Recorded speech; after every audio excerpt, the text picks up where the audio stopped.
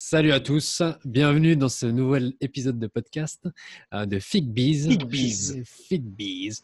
Salut à tous, je m'appelle Alex MyScenary. Euh, c'est une entreprise qui produit des décors imprimés en 3D. Et je suis avec Benji, notre fameux Benji de Babel Ben Mini. Ouais, je laisse te présenter rapide. Allez, bah écoute, je suis euh, Benjamin de, Balbe- de Babel Ben Mini. Euh, moi, je vends mes services de peintre, euh, de temps en temps de mouleur, de temps en temps de sculpteur, de temps en temps d'homme à tout faire. Non, je déconne. c'est des trucs pour après, euh, c'est pour le soir. Ah ouais, ça, c'est ouais, c'est ça. Ou quand, si c'est ouais, c'est ça. Ça, ou quand ça sera l'apocalypse, je peux garder vos enfants, euh, tondre votre pelouse. L'homme à tout Ah, faire. si c'est l'apocalypse, je suis pas sûr que la Ouais. pelouse ce soit le premier truc que tu, fasses. mais- Tu vas manger l'herbe plutôt. Bref, en tout cas, c'est une, une meilleure intro qu'on a fait hier parce que hier, euh, enfin hier, le dernier épisode qu'on a enregistré hier, euh, hier, je lui ai tendu un petit piège. Euh, si vous n'avez pas vu encore l'épisode d'épisode 3, euh, le confinement, allez le voir parce que je lui ai fait un bon petit piège et je pense qu'il s'en souviendra souvent. hein. Ouais. Enfin, souvent, pendant longtemps. là. Bah, j'ai failli répondre, je suis Alex de que Voilà, tu vois, c'est comme ça qu'on manipule. Ouais, je J'étais complètement perdu, quoi. Énorme. À tous, bonjour à tous, rebonjour à tous. Le sujet aujourd'hui, euh, on va analyser le métier de peintre pro. Comment ça va se passer? Ça va se passer euh, sous une Passer forme. sur le grill. Voilà, exactement, le hot seat. On va, je vais lui poser en fait des questions au fur et à mesure de. Ça va être un simili interview. Je vais lui poser des questions sur euh, la situation actuelle, un petit peu la- la- les problématiques qu'il rencontre, et on va essayer de trouver des solutions ensemble pour améliorer euh, son business, le métier en fait de peintre pro. Et puis dans le prochain épisode, on fera l'inverse, c'est-à-dire que ça sera Benji qui ira me poser des questions sur Ouais, euh, si le. si j'ai bien appris euh, ce que, ce que Alex va me, va me montrer aujourd'hui, normalement, je pourrais faire la même chose Ouais, et essayer de lui faire am- améliorer son travail. je Enfin, t'apprendre. son Enfin, travail, je- non, améliorer son entreprise. Oui, euh, après j'espère t'apprendre des choses, mais bon, le, mm, on verra. Aussi, Je dire, j'ai pas, la- pas la science infuse, hein, t'inquiète pas. Moi aussi, j'ai besoin de, de- de m'améliorer, je pense, comme chacun d'entre nous. Bref, est-ce que c'est une bonne intro déjà, Benji? Ouais, C'est parfait. parfait, nickel. Alors, je trouve que c'est parfait. on va commencer par le premier point. Le premier point, ça va être la euh, Je ça va être la situation actuelle. Est-ce que tu peux euh, me- m'introduire, me, enfin m'introduire, non, me présenter ton business euh, Non, je model ne peux pas. Voilà. Euh, Est-ce que tu peux me présenter un petit peu ton business model? Euh, On va commencer par là. Est-ce que tu as un business model Et si euh, Alors, oui ou non, est-ce que tu peux m'expliquer au moins comment tu euh, récupères une commande, par exemple, et comment tu Alors, la livres? Par exemple, euh, on en parlait juste avant le podcast pour avoir le truc. Et, et je vois Alex taper Est-ce que tu as un business model? J'ai fait un, un- business quoi? Ouais, je vois ce que c'est, mais alors mon business model c'est peintre, ce qui veut dire que si on repart avant, euh, je, une entreprise est toujours censée faire un service pour un besoin. Pas Répondre à un besoin, ouais. exact. Répondre à un besoin. répondre à un besoin. Donc moi, je réponds aux besoins des gens d'avoir des figurines peintes. Euh, sur deux cas particuliers, soit des particuliers, et dans les particuliers, c'est souvent deux cas, c'est soit un collectionneur, soit un joueur. Collectionneur, ça veut dire qu'il va avoir une figurine mieux peinte que ce qu'il peut faire. Le joueur, souvent, ça veut dire que soit il n'a pas le temps, euh, soit il sait pas peindre, et il, il faut que ce soit peint parce qu'il faut, on est obligé de jouer peint. Voilà. Et les professionnels, il y en a deux types différents. C'est soit des gens qui veulent des figurines peintes pour faire des démos ou avoir des figurines peintes pour envoyer dans les boutiques, ou alors des figurines peintes pour pouvoir prendre des photos et euh, faire du marketing. En fait, euh, c'est Moi, les, c'est- les quatre types de clientèle que j'ai, c'est ça. Ah ouais, et comment tu. C'est intéressant, tu vois, je ne savais pas. C'est pour ça que ces podcasts servent à quelque Eh chose. ouais. Moi, ça m'intéresse personnellement parce que je suis plus dans la partie, la dernière partie, t'imagines, pour peindre et prendre des photos après pour les produits, parce que je peins certes, mais pas assez bien. Du moins pas comme quelqu'un qui le ferait plusieurs heures par jour depuis des années. C'est presque une expertise en fait, j'ai envie de dire. C'est même une expertise. Si juste faire un petit point là-dessus, la plupart du temps, les gens qui m'appellent m'appellent pas parce que je sais mieux peindre que, que, que les autres, parce que souvent les meilleurs peintres sont pas forcément pros. C'est ceux qui ont le temps de dépenser tout le temps qu'ils veulent pour pouvoir faire une figurine. C'est les gens nous appellent parce que on est ceux qui peuvent avoir le meilleur rendu le plus vite. C'est le meilleur rapport qualité-temps en fait. Qualité-prix-temps. Parce que le prix Ah, et le temps. qualité en fait. prix, j'espère. Mais euh, Qualité-prix. En fait, c'est Ouais. euh, ouais, c'est ça, c'est le plus rapide, le, le meilleur temps. Alors, Voilà, euh, ça c'est la situation actuelle. Tu, euh, comment tu obtiens, comment tu obtiens tes clients? Euh, alors, C'était la question euh, genre euh, brute de décoffrage. ouais. alors il y en a plein et je pense, je pense que ça peut intéresser vraiment plein de gens. La- On est dans l'univers, on est dans le l'ère du numérique et euh, on est euh, alors, là on part on prend du confinement, on voit les gens faire la même chose qu'avant en disant oh là là c'est compliqué le confinement, mais on se rend pas compte puisqu'on les voit faire la même chose que d'habitude. Et en pour le numérique. Et là, donc, on a l'impression que les peintres pros font de la pub avec Facebook et Instagram en disant regardez ce que je viens de faire. Et que après avoir posté, quatre mecs te téléphonent en disant bonjour, je voudrais une commande. C'est pas vraiment vrai.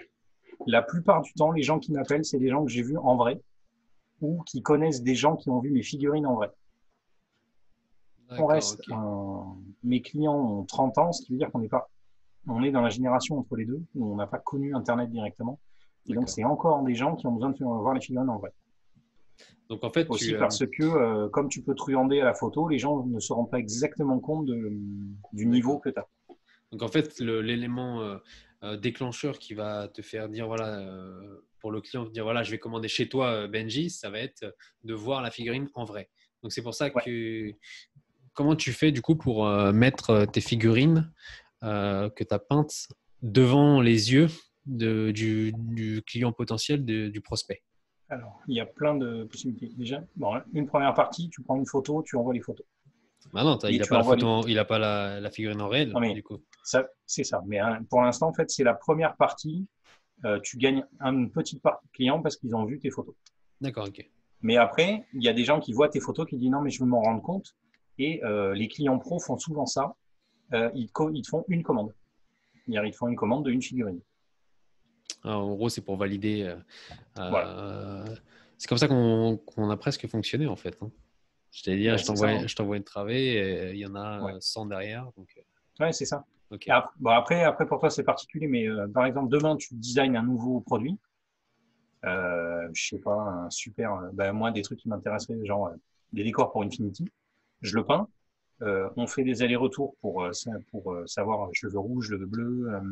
voilà, la photo, tu la prends comme ça.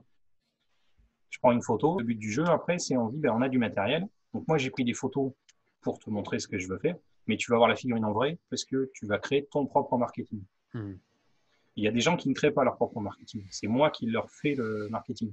Ce qui veut dire que c'est moi qui peins, c'est moi qui fais la vidéo, c'est moi qui monte la vidéo. Euh, C'est arrivé de le faire pour, euh, pour qui si c'est euh, si c'est pas indiscret? Euh, alors, Eh, les Lâche les blazes, lâche les blazes. photos- les photos, euh, alors les, les vidéos, j'en ai pas fait pour des pros. J'en ai fait pour ouais. des clients, euh, pour du public qui voulait avoir une mini vidéo. D'accord. Euh, ben, sur mon Instagram, on peut retrouver la vidéo. D'ailleurs, sur mon Facebook, j'ai fait un chevalier Eldar avec des, des dessins de planètes sur la totalité de l'armure. Et j'ai fait un 360 parce que la figurine était très grosse. Et en fait, je voulais que les gens puissent voir ce qu'il y avait. Mhm. Euh, les photos, la plupart du temps, ben, les deux dernières boîtes pour lesquelles j'ai bossé, j'ai bossé pour Northgard, j'avais bossé pour euh, Happy Games Factory, j'ai bossé pour Raging Heroes. Euh, Raging Heroes, j'ai pris des photos, mais ils ont repris des photos. Parce qu'ils ont une façon un peu euh, étrange de travailler. Ben, en fait, ils, ils utilisent énormément Photoshop sur les photos de boîtes. Hmm. Parce qu'en fait, ils ont euh, une façon de proposer leurs produits sans socle, sans fond. C'est-à-dire qu'en fait, la figurine est découpée et intégrée dans des, dans des- sur des photos, sur des trucs. C'est très étrange, mais bon. Euh, Happy Factory, c'est moi qui ai fait les photos, puisque en fait, euh, une partie, ils n'ont jamais vu les figurines.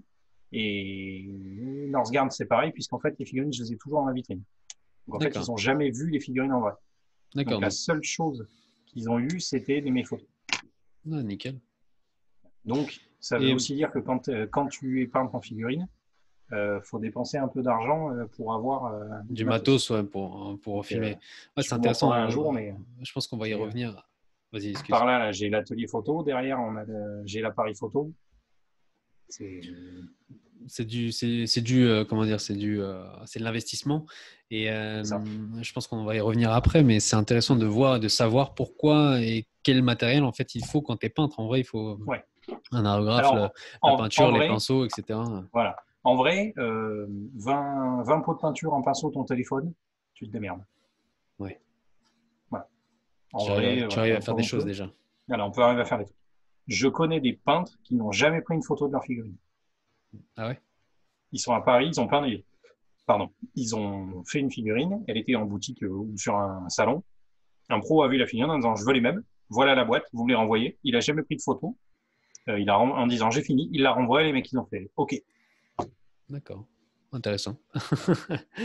En ce moment, Euh, alors moi qui, qui ai bossé avec des designers de, de dessins, jeux vidéo, euh, des trucs, euh, non, en fait, tout- toutes les deux heures, hein, le directeur artistique t'appelle pour savoir où t'en es, euh, à quoi ça ressemble, vers quel, euh, où tu vas. Il t'envoie les trucs qu'ils sont en train de faire pour que tu comprennes l'environnement. Voilà. Ça- En ça fait, match, ouais, on est tout vrai- le temps en train de faire des allers-retours. C'est un vrai travail d'échange et de d'écoute client. Est-ce que tu as déjà rencontré, on va dire, des problèmes en communiquant avec eux? Ou comment est-ce que tu communiques avec eux et. Et c'est quoi les plus grosses problématiques que tu rencontres avec le, Alors, le- la communication souvent, avec eux? le... Parce que, bon, par exemple, un client qui dit bonjour, je voudrais me faire peindre un truc. Euh, voilà. Et le premier truc, j'ai dit bien sûr, est-ce que vous avez une photo? Parce que je veux savoir ce que c'est. Oui, voilà, je vous envoie la photo. Et premier problème, c'est ah oui, j'ai une photo, mais c'est pas exactement ça, c'est machin, ah mais je l'ai pas. Voilà. Donc premier problème, ça arrive, t'as pas la figurine. Donc on te demande de faire un devis, tu sais pas ce que tu fais. Bonjour, je voudrais une voiture. Vous voulez une Fiat Panda ou une Lamborghini? Je sais pas, vous verrez bien ça- quand elle va arriver. Ok. C'est Compliqué, ouais. compliqué. Ouais, même Donc, pour le premier- prix. hein. Voilà, premier problème, c'est ça. Donc, tu leur expliques que si tu vois pas la figurine, machin. ça m'est arrivé d'être obligé de faire des devis sur euh, Crowbar. Le mec qui fait un Crowbar de photos en disant, mais elle est en train d'être sculptée, il faudra peindre ça. Ok. Bon. Donc, euh, eh ben, la taille, le niveau de détail, euh, machin. Et donc, la plupart du temps, c'est toi qui envoies des figurines en disant que ça va ressembler à ça, à ça, à ça? Et tu lui fais un, tu fais pas un truc définitif. Tu lui dis, ça va être entre temps et temps. Genre, je sais pas, entre 100 et 500 balles. D'accord. la plupart du temps, ça va être 520 ou 200, 250. quoi. ouais, D'accord. Voilà. Ok. Et euh, du coup, Après- tu. Vas-y, je te laisse terminer. Et deuxi- deuxième problème, tu as des gens qui disent je voudrais faire peindre ça. Oui. Quel niveau de peinture? Euh, Je sais pas. Et là, t'expliques. Il dit ben, il y a plusieurs niveaux. Soit vous voulez euh, que je la barbouille parce qu'il faut aller super vite et que vous voulez toute l'armée la semaine prochaine. Dans ce cas-là, euh, c'est quatre bombes d'aéro, deux détails et c'est bon, c'est parti. Ou alors, est-ce que vous voulez jouer avec euh, juste un peu mieux? Ou alors, c'est un truc de pour faire des photos Ou alors, vous me commandez une figurine de concours Toi, en sachant que tu fais, tu fais tout, ces, euh, tout ce panel-là, c'est-à-dire Ouais. la figurine pour le jeu, la figurine pour euh, le jeu plus, on va dire, le gars, il, Ouais. il aimerait avoir un peu plus de travail, mais ça reste pour jouer. Et après, le truc, je vais juste le mettre dans la vitrine. Tu fais Alors tout ce panel-là. Voilà, en fait, tu as plein de panels. J'aime pas le terme tabletop parce que tout le monde a une définition particulière. Et en fait, selon les figurines ou ta technique de peinture, tu as des trucs qui ne correspondent pas. Et la plupart du temps, c'est ça c'est je veux vite, je veux jouer avec, j'ai pas, de, euh, pas besoin de niveau, j'ai un peu envie que ce soit joli ou euh, j'ai envie que ce soit un perso qui soit bien dans ma vitrine, mais je veux pas du display. Euh, voilà. Et la plupart du temps, euh, les gens, c'est par rapport au prix D'accord, ok. pour un trou, un, un- on va prendre un trou, trou pied de base en 30 mm. Ça va entre 10 et 300 euros. Et ça peut monter à entre 5 et 800 si tu veux une figurine de concours. Mais quand tu dis entre 10 et 300 euros, quand tu as quelqu'un qui me dit Ah ouais, mais j'avais 200 figurines à peindre, ça veut dire que mon niveau le plus bas, c'est 10 euros. Ça veut dire qu'il faut que je passe une demi-heure à la peinture dessus. Parce qu'il y a 10 minutes de montage, plus l'envoi, plus la sous-couche, plus le machin. 30 minutes. J'ai entre 20 et 30 minutes pour peindre ta figurine. 10 balles. Ouais, du coup, tu fais des choix forcément techniques qui sont plus ou moins. euh, C'est ça. Rapide. Mais il y en a plein des gens qui disent Ah oui, ah moi je voyais. Il y en a plein qui disent Ah mais moi je voyais, euh, je vous donnais 100 euros, vous me payez mon armée. bien sûr. ouais. Donc euh, pour ceux qui nous écoutent et qui voudraient commander des trucs, non. Voilà. Il faut quand même penser que rien que pour monter des figurines, euh, je me fais payer 100 ou 150 balles la journée. D'accord. Et du coup, c'est comment 7 heures tu. ou 8 heures. quand tu vois, parce que là, tu as deux, deux types, entre guillemets, de, de, de, communication avec, les, euh, avec, les, euh, avec tes potentiels clients. C'est-à-dire, le premier, c'est celui qui a juste un croquis, qui te dit, ouais, je sais à peu près que ça va ressembler à ça, combien ça coûte. Et le deuxième, c'est, voilà, ma figurine, mais bon, je ne sais pas quel niveau de peinture je veux dessus. Ça, c'est les deux, deux éléments importants. Ça, voilà, ça, c'est l'autre truc. C'est pour ça que il faut, enfin, on est dans un univers, il faut avoir des photos de ce que tu fais tout le temps. Soit dans ton téléphone, parce que tu es en direct, et dans ce cas-là, tu peux montrer de l'avancement. Moi, par exemple, il y a, euh, allez, 25% de ce qu'il y a dans mon appareil, dans mon téléphone, je ne peux pas le montrer. Soit c'est du en cours, soit c'était des tests ratés, soit c'est des figurines qui sont pas sorties, qui sortiront jamais. Mais je les ai, on peut pas les. Donc, mais ça, tu peux le montrer en direct, mais tu peux pas la publier sur Internet. Et en fait, il faut avoir un book comme un, un portfolio, comme un acteur, il faut ou un dessinateur, il faut avoir un portfolio pour dire je peux faire ça. Et ça, en tirant, ben, ça par exemple, si ça vous plaît, ça c'était temps. Euh, Celle-là, c'est temps. Et souvent, tu as des gens qui m'appellent en client en disant, euh, en note de figurines, en disant je voudrais des figurines, je voudrais ce niveau-là. D'accord, ok. Ça, c'est le plus facile. Tu dis, euh, ou alors qui me dit, euh, euh ben, le chevalier, quelqu'un m'a dit, ah ben je veux le même. Hmm. Voilà. Donc là, c'est facile, tu dis, bah, j'ai pris le temps. D'accord, ok. Et du coup, toi, c'est, sauf si c'est euh, peut-être, euh, euh, comment dire, confidentiel, moi, j'aimerais savoir comment est-ce que tu, te, comment tu détermines un prix, parce qu'il y a énormément de, figurines qui sont différentes en fonction des techniques, en fonction de si. Par exemple, je vais prendre un exemple concret, comme ça, ça va être plus simple pour toi peut-être de, répondre. C'est-à-dire, voilà, dis-moi. moi, j'ai une figurine, une figurine, la taille d'un ogre, tu vois. C'est mon, c'est mon, comment dire, c'est mon, c'est mon, c'est mon héros. J'aimerais qu'il soit un petit peu plus que, que juste du tabletop ou juste peint rapidement. comment est-ce que, comment est-ce que tu détermines? Tu vas me dire, voilà, est-ce que tu peux m'envoyer une photo de la figurine? C'est quoi comme figurine? Est-ce qu'il faut la monter? Est-ce qu'il ne faut pas la monter? Moi, je te réponds. Voilà, il ne faut pas la monter. elle est déjà montée.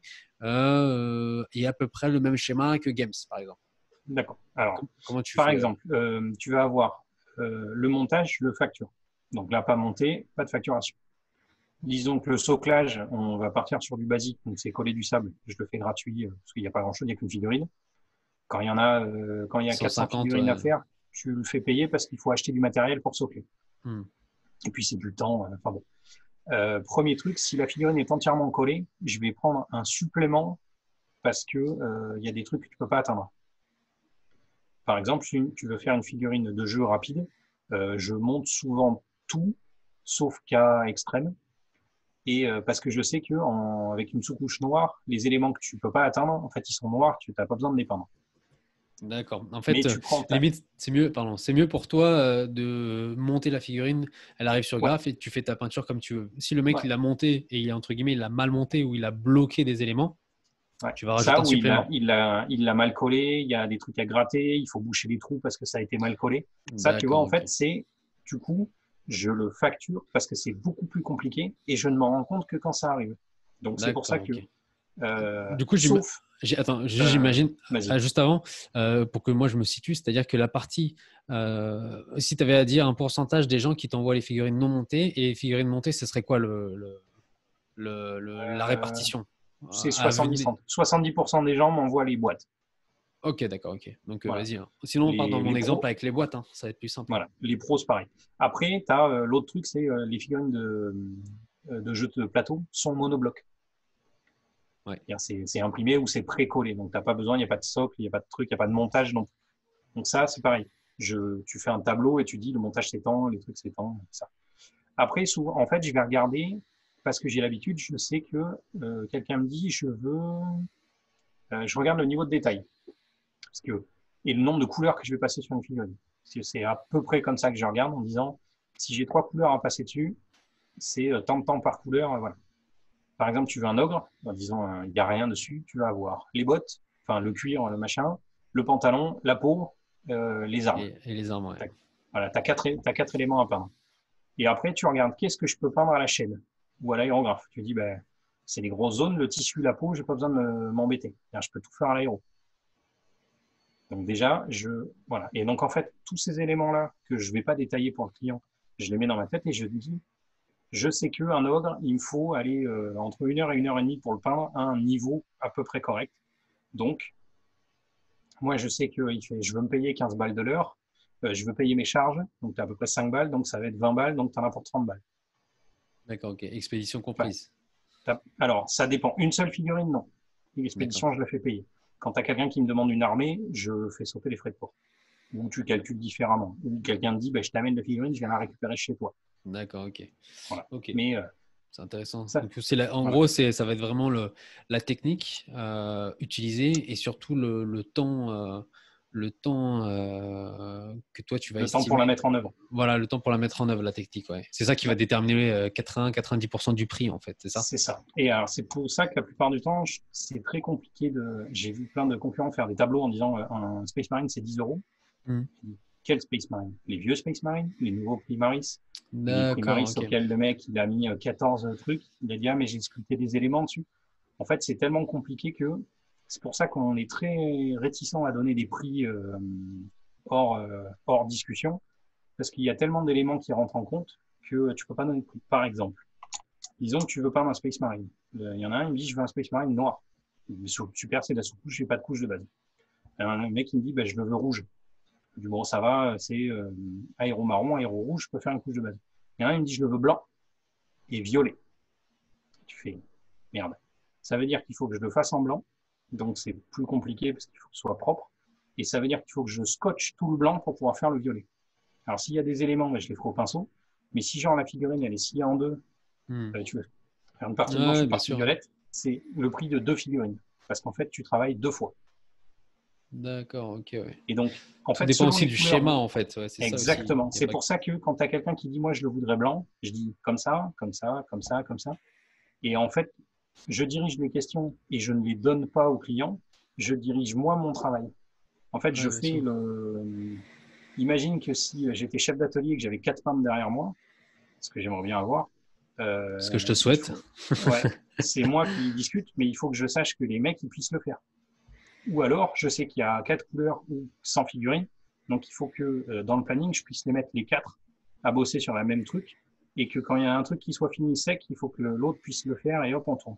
Donc en fait, Mhm. tu as plein de petits éléments comme ça qui se mettent en place, qui sont très compliqués, et c'est pour ça que mon travail, c'est plus de l'artisanat ou de l'art. Ouais, c'est ça. De l'art, ouais. Parce que, parce que Bah. t'as, euh, c'est au feeling, euh, il y, a, y a plein de trucs qui rentrent en compte. Hmm. Par, par exemple, tu as le plus rapide. Euh, tu me demandes un ifrit de flamme, c'est juste une flamme. Euh, c'est 100% d'aéro, ça va être le moins cher. J'ai trois couleurs à passer à l'aéro, j'ai même pas besoin, j'ai quasiment pas besoin de nettoyer l'aéro entre chaque couleur. Hmm. Ouais, d'accord, ça, dépend vraiment. C'est, en fait, c'est ça qui explique euh, vraiment pourquoi est-ce que les peintres en fait ne fournissent pas, par exemple, de tableaux ou la majorité des peintres Ou euh, alors tu, montrent des tu exemples. un tableau, mais Ouais. euh, par exemple, moi, je vais dire bah, figurine 30 mm entre 10 et euh, 50 euros. Ouais, voilà, c'est ultra large. Entre En 10 fait. et 50 euros, C'est pas pareil, ouais. C'est-à-dire. D'accord. Donc, Et, Essaye de donner des prix, mais on met en gros. Attention, c'est pas du tout la même chose. et du coup, qu'est-ce que, euh, est-ce que tu, tu sais ou tu penses que, par exemple, le fait d'avoir mis un, tab- un tableau avec euh, tous les prix, est-ce que ça aide à attirer des, euh, des gens pour qu'ils viennent te consulter? Est-ce que tu as, oui. testé ça avec et sans tableau, entre guillemets? Alors, j'en ai, j'en avais fait des tableaux et le, c'est, mais, euh, alors c'est mon, on va prendre un exemple concret. J'avais fait un tableau avec un prix beaucoup trop bas. Donc les gens appelaient en disant super, ben, je veux le prix le plus cher pour tout. D'accord. ouais. ah bon, ben, je me suis fait griller. Et après, tu as le tableau où euh, tout est trop cher. Mais l'avantage du tableau, tu perds, tu gagnes 25% de, du temps des clients qui savent qu'ils sont pas dans ton budget. C'est ça. Quelqu'un qui me dit j'ai 1 euro par figurine, il dit bah, c'est pas moi et ça ne sera personne de déclarer. D'accord. ouais. Qu'un euro, tu Ouais, pas ça aussi, Un euro, tu la montes pas la figurine. D'accord. Enfin, ça, pour c'est donner une le- idée, 1 euro, ils ont une boîte de. Ben, on va prendre une boîte euh, euh, Game of Thrones. Il y a 12 ou 13 figurines dedans. Disons à 1 euro la figurine, c'est 13 balles. Ça fait 30 minutes. Il faut qu'en 30 minutes, je puisse ouvrir la boîte, sortir les figurines et poser les sous-couchés. Voilà. Euh, 13 balles, c'est la sous-couche. Ouais, putain. C'est assez complexe, ouais. C'est vrai. Après, c'est comme d'habitude. Si tu sais que le mec il me dit euh, je vous envoie 200 figurines, elles sont prêtes sous coucher ou machin, ou, euh, En fait, c'est le cas par cas. En fait, c'est ça qui est compliqué, c'est le cas par cas. Tout est au cas par cas. Tout est au cas par cas et tu as, euh, euh, comment dire, euh, comment dire, tu as tout au cas par cas. Donc, en fait, il y a aussi ton temps de, gestion, entre guillemets, d'amener le client à lui proposer la meilleure solution. Et c'est ce temps-là qui est aussi important parce que c'est du temps peut-être où tu ne peux pas peindre. Ouais. Alors, ce temps de négociation, là, la plupart du temps, tu l'intègres dans tes prix et c'est pour ça que je dis, quand je dis je veux me payer 15 balles de l'heure hors charge, euh, je ne vais pas gagner net 15 balles de l'heure. Ça fait partie de tes charges. Tu payes ton électricité, ton machin, ton truc. Et tu sais qu'il y a une partie de ton temps dans la journée où tu travailles 8 heures, mais pendant 2 heures ou 3 heures, tu, tu fais du mail, tu réponds à des clients, tu vérifies, Mmh, podcast. Alors, tu sais quoi, euh, on va faire un. Tu fait une très bonne transition. Euh, je, voulais te poser la... je voulais te poser la question dans une journée euh, type, avant qu'on passe à la partie problématique. c'est les problématiques que tu vas rencontrer, on en a élaboré un petit peu. comment est-ce que tu organises ta journée On va pas dire comment est-ce que tu organises ta journée, mais plutôt, un, combien de temps tu travailles dans une journée Deux, euh, quelle est la répartition entre le temps de peinture, le temps de discussion avec les clients, le temps de podcast, le temps de autre chose? Alors, c'est ultra, c'est variable comme tout le reste. C'est extrêmement rare que je passe 9 ou 10 heures d'affilée à peindre. Euh, alors, déjà, en, déjà, en, moyenne, tu travailles à peu près combien de temps euh, alors, à, la, fin, à, la fin, je, à la fin, je vais t'embaucher en fait. C'est pour ça qu'on est en passer un entretien d'embauche. Ouais. My scénario. je vais travailler facile 10 heures dans la journée. On va dire 10 heures, ok. Voilà. Sur ces 10 heures-là. C'est ça. Je fais, euh, allez, ouais, c'est ça. Je vais faire 9-19, une heure de pause pour repas. Sur la journée, je vais peindre entre 5 et 7 heures. D'accord, ouais. Euh, en moyenne. Et ça peut m'arriver, euh, selon les projets, par exemple, quand c'est un projet de figurine haut niveau avec des super figurines, ça peut m'arriver de peindre 10 heures. Dire, je m'y colle à 9 heures. Euh, à un moment donné, tiens, j'ai envie de me faire un café, je me lève, je mange, je reviens, paf, j'ai travaillé non-stop. Hmm. Ça m'est arrivé pour des figurines de concours de faire 7h, 23h, d'avoir oublié de manger. J'étais dedans, euh, c'est exactement ce que je voulais faire. J'étais dedans. Euh, ça peut m'arriver de travailler 3 heures dans la journée ou 2 heures, rarement moins, parce que en fait, tu as, as, des morceaux de 20 minutes. Genre, tu passes un ancrage bah, tu attends une heure que ça sèche, faire autre mmh. chose. Tu passes un peu. Mais la plupart du temps, tu peins pas pendant trois heures, mais tu vas euh, euh, nettoyer, ranger, euh, faire un envoi, un aller-retour, répondre à un mail. Attends, attends, ça c'est d'autres parties, c'est d'autres heures, d'autres catégories. et en fait, le, comme j'adapte mon emploi du temps à ce que je fais au travail de la figurine. Et alors, si j'ai de la sous-couche, bah, tu vas bomber, je sais que 30 minutes après, j'ai plus rien à faire. Donc, je vais aller mail, machin, milieu. D'accord, ok. Euh, et après, tu as euh, les trucs atroces où tu as euh, de la répétition, genre la dernière commande à 400 figurines.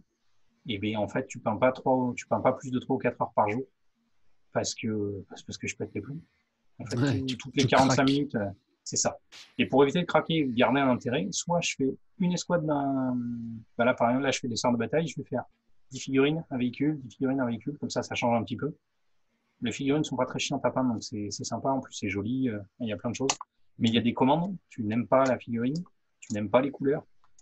C'est atroce, c'est très long. C'est alimentaire. Et, là, c'est chaud. Après, voilà. Après, il y a d'autres trucs. Ça, c'est euh, je fais ça et je fais deux commandes à la fois. Je fais une commande cool, une commande moins cool. Euh, je fais le montage en même temps. Ouais, tu alternes. Je commence, la, je commence la commande d'après en discutant avec les clients pendant qu'il y a un truc qui sèche. tu planifies autre chose. Mais euh, quand tu as des deadlines à tenir de dingo, euh, ça m'est arrivé de faire 8h, 23h sur des commandes très très chiantes et de prendre juste 5 minutes de pause, faire bon, euh, bah, tu vas boire un, thé ou un café toutes les heures, mais tu sors de ta chaise, tu fais des étirements, machin. Ouais, bien sûr. Mais au moins, tu as fait des pauses. Mais non-stop, vraiment, tu es obligé. Quoi. Ok. Et du coup, sur ces 10 heures-là, donc tu m'as dit tu as 5, entre 5 et 7 heures, euh, euh des fois 3, euh, voilà, de vrais temps de peinture. Euh, Les 3, 5 heures, 7 heures qui te restent, on va dire 5 heures qui te restent, tu les répartis comment? Alors, je vais avoir au moins une heure par jour de veille. C'est-à-dire qu'une heure par jour, je vais être collé sur. Euh, de les veille, le mec, il, il- il s'endort comme ça devant la... Ouais. Du- de, Du- médi... de médita-sieste. C'est ça. Non, pas du tout. En fait, c'est de, de veille du marché. Je Veille vais marché, regarder ce, que, ce que les autres font. Euh, donc, c'est euh, YouTube, euh, Instagram, euh, Facebook. En fait, tu prends la température peut-être euh, des, ça. cou- des courants de, de peinture, des figurines qui marchent, les autres peintres, qu'est-ce qu'ils font, etc. C'est ça? Voilà. Ça, c'est uniquement de la veille passive. Après, tu as la veille active. C'est une heure. C'est poster, discuter, échanger, appeler des pros pour dire Ah, j'adore ce que vous faites. Ah, mais c'est quoi? Ah, En Ah fait, ouais, c'est engagé dans la communauté. En plus, Déjà voilà. parce que tu aimes Pardon, ça. souvent c'est des potes à toi, euh, donc c'est pas vraiment du travail. Sauf que quand tu as une entreprise, il faut le compter en temps de travail. Ouais, et c'est très important. Mais ça fait partie du temps de travail en vrai. Voilà. hein. C'est euh, appeler un pote de toi par exemple pour dire Hey salut, ça va, qu'est-ce que t'as fait hier et tout machin. Ça fait partie de euh, garder des bonnes relations de travail Ouais, bien sûr. ou de futures bonnes relations de travail. et d'entretenir la, la relation en fait parce que euh, aujourd'hui euh, on parle comme ça mais peut-être que demain on va dire voilà moi j'ai un gros besoin en peinture et c'est avec toi que je vais Ouais. travailler parce que euh, Ouais. justement il y a eu cette relation là quoi. Ouais, ça ou demain euh, tu te retrouves à produire des figurines et il te faut de la, il faut de la peinture, on se retrouve à faire un Kickstarter. euh, c'est tout la même chose. Là, ce sera Ouais. 18 heures de taf par jour et Ah on, bah verra, on verra le bout du tunnel au bout d'un an. bien sûr c'est ça exact du coup tu as une heure de ce que tu as appelé veille passive donc ça j'ai capté et tu as une autre une heure de veille active, Active. moi euh, c'est plus de je dirais pas de la veille active mais je dirais de la comment dire par définition pour moi la veille c'est passif forcément mais euh, de dire plutôt euh, c'est de la comment dire de la gestion de communauté gestion de, de, de, de relations en fait de relationnel avec des ça. partenaires potentiels etc donc Ouais, ça ça pour moi, c'est du semi-marketing parce qu'après, j'ai une heure. Et euh, alors, par exemple, c'est- complètement aléatoire. hein. Et après, j'ai une heure de poster ce que je fais. Et donc là, c'est même pas, pas de la veille, c'est du marketing.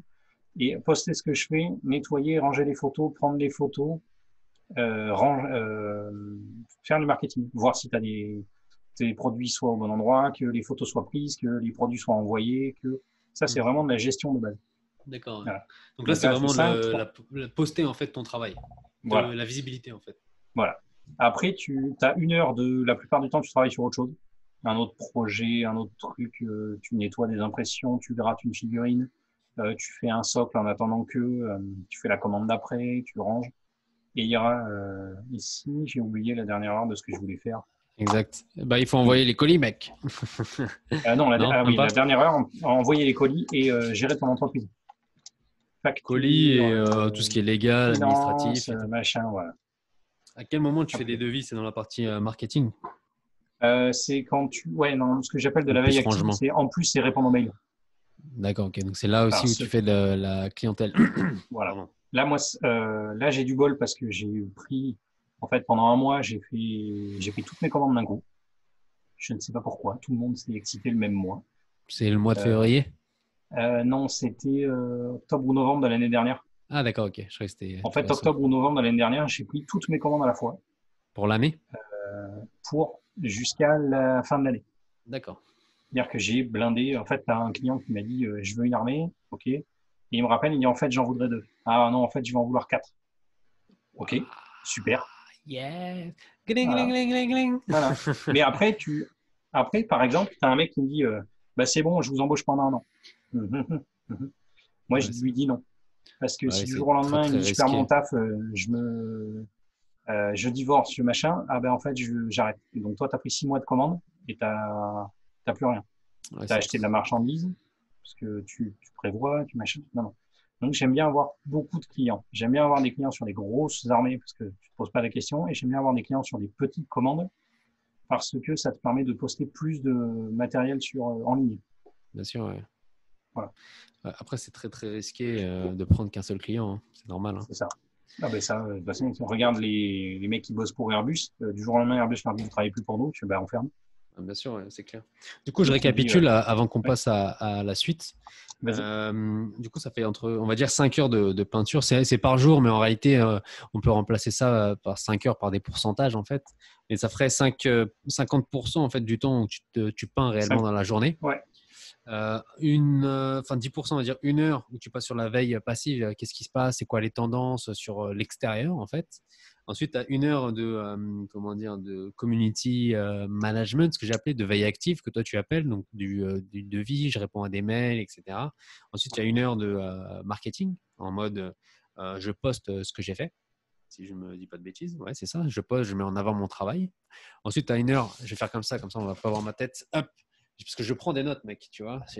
C'est trop la classe, putain. On, est pro ou pas? Là, on va faire une analyse complète. Euh, là, c'est bon, là, c'est du coaching, là. Non, je Bref, marketing, une heure encore euh, de rangement, un peu tout ce qui est accessoire, pas accessoire, mais tout ce qui est, euh, comment dire, euh, c'est amélioration de ton espace de travail. Voilà, c'est ça. C'est du Kaizen, amélioration continue.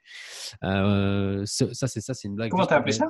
Kaizen. Ça, c'est juste les, euh, une blague que les mecs d'ingénieurs ou de l'industrie, ils vont capter cette blague-là. Je, je, me, me la pète pas là. Hein. Je, je, chacun, chacun son univers. Hein. Voilà, tu mets Kaizen sur Internet, K-A-I-Z-E-N. tu vas mmh. voir la tête d'un Chinois, c'est le patron de Toyota. Euh, c'est lui qui, a, inventé ça. Et euh, en gros, c'est ça c'est améliorer son espace de travail, amélioration continue. Euh.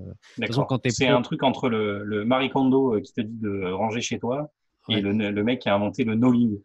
Le quoi?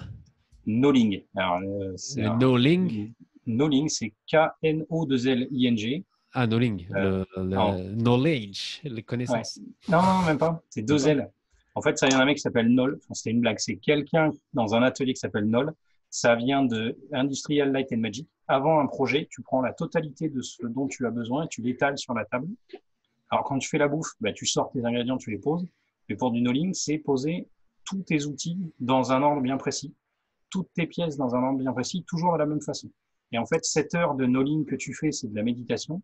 Tu la gagnes euh, pendant que tu travailles. Et souvent, les mecs, quand ils font du Lego, tu fais du knowing, c'est-à-dire tu ouvres tout et tu classes toutes tes pièces grises, toutes tes pièces rouges, tous tes machins, puis par taille, puis par forme. Voilà. Tu vois, on apprend des choses dans ce podcast. Tu vois, je voulais sortir une connerie, le Kaizen et tout, et là, bam, je repars avec Knowing. Ça, peut prendre, ça peut prendre longtemps, mais en fait, euh, je, moi, je fais souvent ça. Dès que je vais euh, faire une armée, j'étale, bah, je sais pas si on le voit derrière, mais en fait, j'ai étalé les, les, tout, les, escouades, les escouades 10 par 10 hmm. euh, en, en mettant un peu de tout pour qu'il y ait suffisamment de, de changements pour pas que ça m'ennuie et suffisamment de figurines pour que le temps, c'est que quand j'ai fini la dixième, la première a séché, je peux recommencer. Yes. Donc, en fait, nickel. Voilà, je fais du no Et selon l'avancement. Internet, tiens, je vais, je vais checker ça pendant que tu, tu expliques. Vas-y, vas-y, continue. Ouais, vas-y. Selon, selon l'avancement de ton projet, soit tu modifies ton no soit tu as besoin de l'espace pour faire autre chose, soit tu ranges parce que euh, tu en as euh, plein dessus. Et en fait, ça te permet de faire énormément de choses.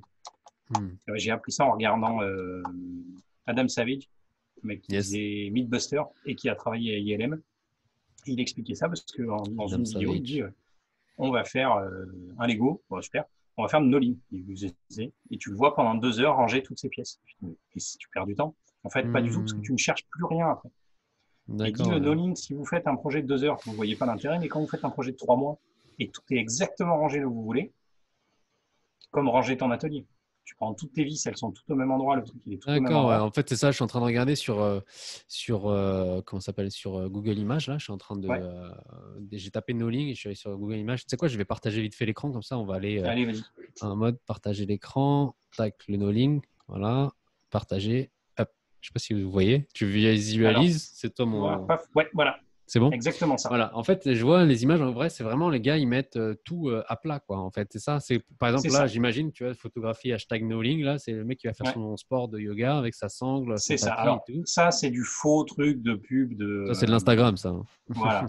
ça, c'est l'Instagram. Mais tu prends, tu, prends les, les, outils là, as le en plein milieu, tu vois, tu as Always Be oui, Yes. Voilà. Ah, je vais l'ouvrir. Tom, je sais plus, Tom Sachs, voilà. Ben, c'est Tom Sachs, c'est le mec qui a inventé ça, qui travaillait avec Adam Savage à ILM.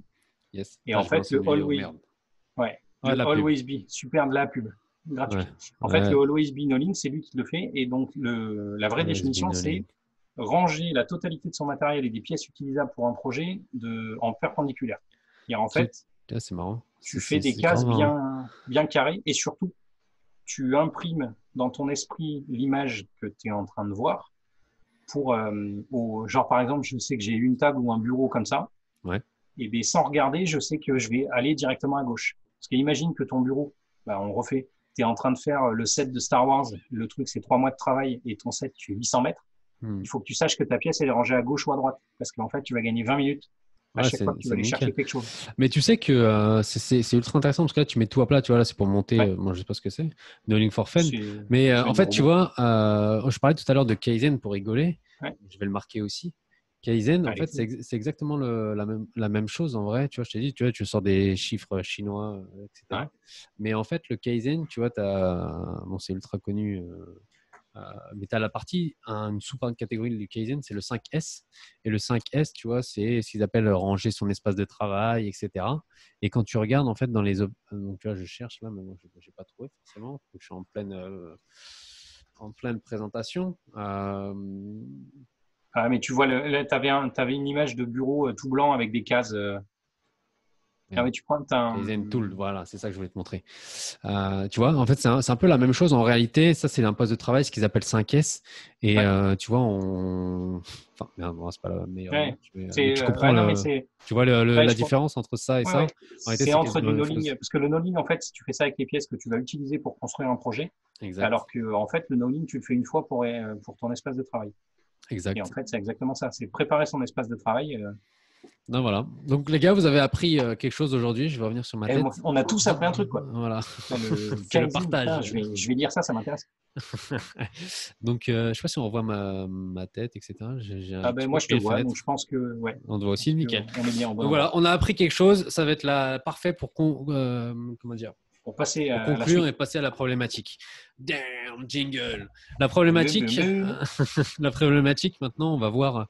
J'aimerais creuser un petit peu avec toi euh, l'ensemble de toutes les l'ensemble de toutes les problématiques que tu as dans genre euh, euh, dans ta journée, dans ton dans ta semaine, dans ton mois, dans ton métier en fait de pro, peintre pro. Ça va, ça peut aller du euh, ma position de travail à enchaîner des heures de peinture, comment couper, comment faire des pauses, etc.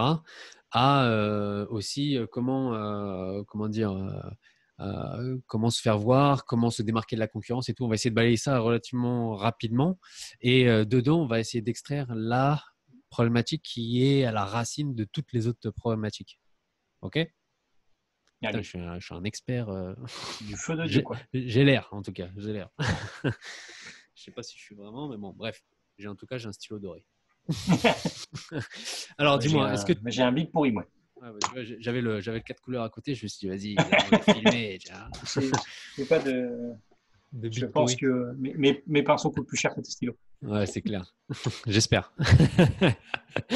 ok, du coup, quelles seraient, tu peux me lister euh, les problématiques que tu as sans Alors. forcément rentrer vraiment dans le détail de chacune, Alors, mais au moins balayer, peut-être qu'on va rentrer dans une Ouais. ou deux. Alors, tout de suite, en ce moment, mon problème, c'est de, c'est de la répartition. C'est j'ai trop de commandes par rapport au temps disponible que je voudrais avoir. Parce qu'en fait, je voudrais pouvoir prendre du recul sur mon travail, justement pour avoir un site internet, euh, avoir le temps de faire des vidéos. Parce que euh, ouais, les vidéos, là, euh, il faut que je les fasse. Euh, comme c'est nouveau pour moi, donc tu apprends en même temps. J'ai pas le temps de vraiment bosser un truc complètement. Yes. Donc en fait, j'ai pas le temps de prendre du recul pour diversifier mon activité pour, dans le futur, avoir plusieurs cordes à mon arc. En fait, je, fais tout euh, euh, les uns après les autres sans, sans que ce soit euh, organisé. Ça, c'est le premier. Structuré. Et après, mon autre problème, c'est euh, j'ai énormément de commandes tout à la fois et je pourrais gagner de l'argent si j'avais quelqu'un avec moi. Parce que là, par exemple, tu vois, si je Ça prends revient à la si même un- chose en vrai. Parce que le fait d'avoir quelqu'un d'autre, c'est t'acheter, euh, entre guillemets, t'achètes le temps de quelqu'un d'autre. Ouais, c'est ça. Ouais, mais c'est surtout que, euh, en fait, je pourrais faire venir d'autres choses dans l'atelier et moi, je pourrais aller euh, faire du moulage, par exemple, de la sculpture. Euh, tu pourrais, en fait, je pourrais faire de la recherche et développement, ce qu'on pourrait faire. Mhm. C'est-à-dire, donc, moi, utiliser ce que je sais faire pour aller chercher d'autres pôles et voir s'il y a d'autres trucs qui m'intéressent. Comme le moulage ou l'impression 3D. C'est ça. Ah bah, l'impression 3D, là, je suis resté au mode de j'appuie sur la machine, ça marche, et quand ça marche pas, c'est Ah, pourquoi ça marche pas? Vite, Alex, Allô, vite, ça marche pas Ouais, c'est ça. Allô Alex, Ah ouais, c'est- ouais, ça s'est bouché, comment je fais? Ah, le, le 36 le 3615 réparation, je te l'ai fait deux, deux ou trois fois quand même. Ouais, c'est clair, ouais. Bon, ça t'a aidé, non? 3615, pour les, les jeunes qui savent pas, c'était un Minitel, c'est l'ancêtre de Internet. Ça me fait bizarre de, voir l'expliquer, euh, mais euh, Putain, on a, on a pris un, un coup de vieux, les gars. Merde. bah, j'ai 40 ans demain. hein. Hey, on va faire un épisode, un épisode spécial. Bon anniversaire. Anniversaire. Ah, demain, demain, demain. Allez. Ok. Euh, est-ce que tu vois d'autres problématiques autres que euh, trop de commandes ou j'aimerais plus de temps pour faire de nouveaux projets? Est-ce que tu as d'autres problématiques? Oui, non tu parlais, ça, tu, parlais... Ça, en vient de là, mais c'est comme la 100% de mon temps et de et mes mains sont prises.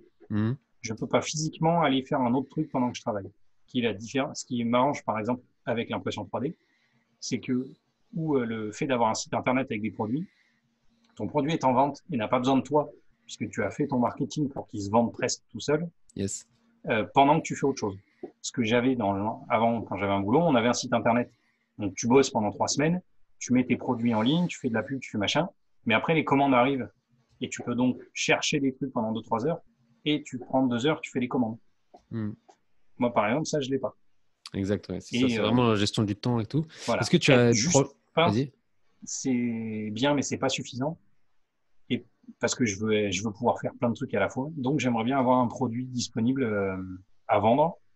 Euh, alors, ça peut être de la formation, des, de la vidéo. On va y venir après. On va y venir après. Ça, c'est la partie solution. Voilà.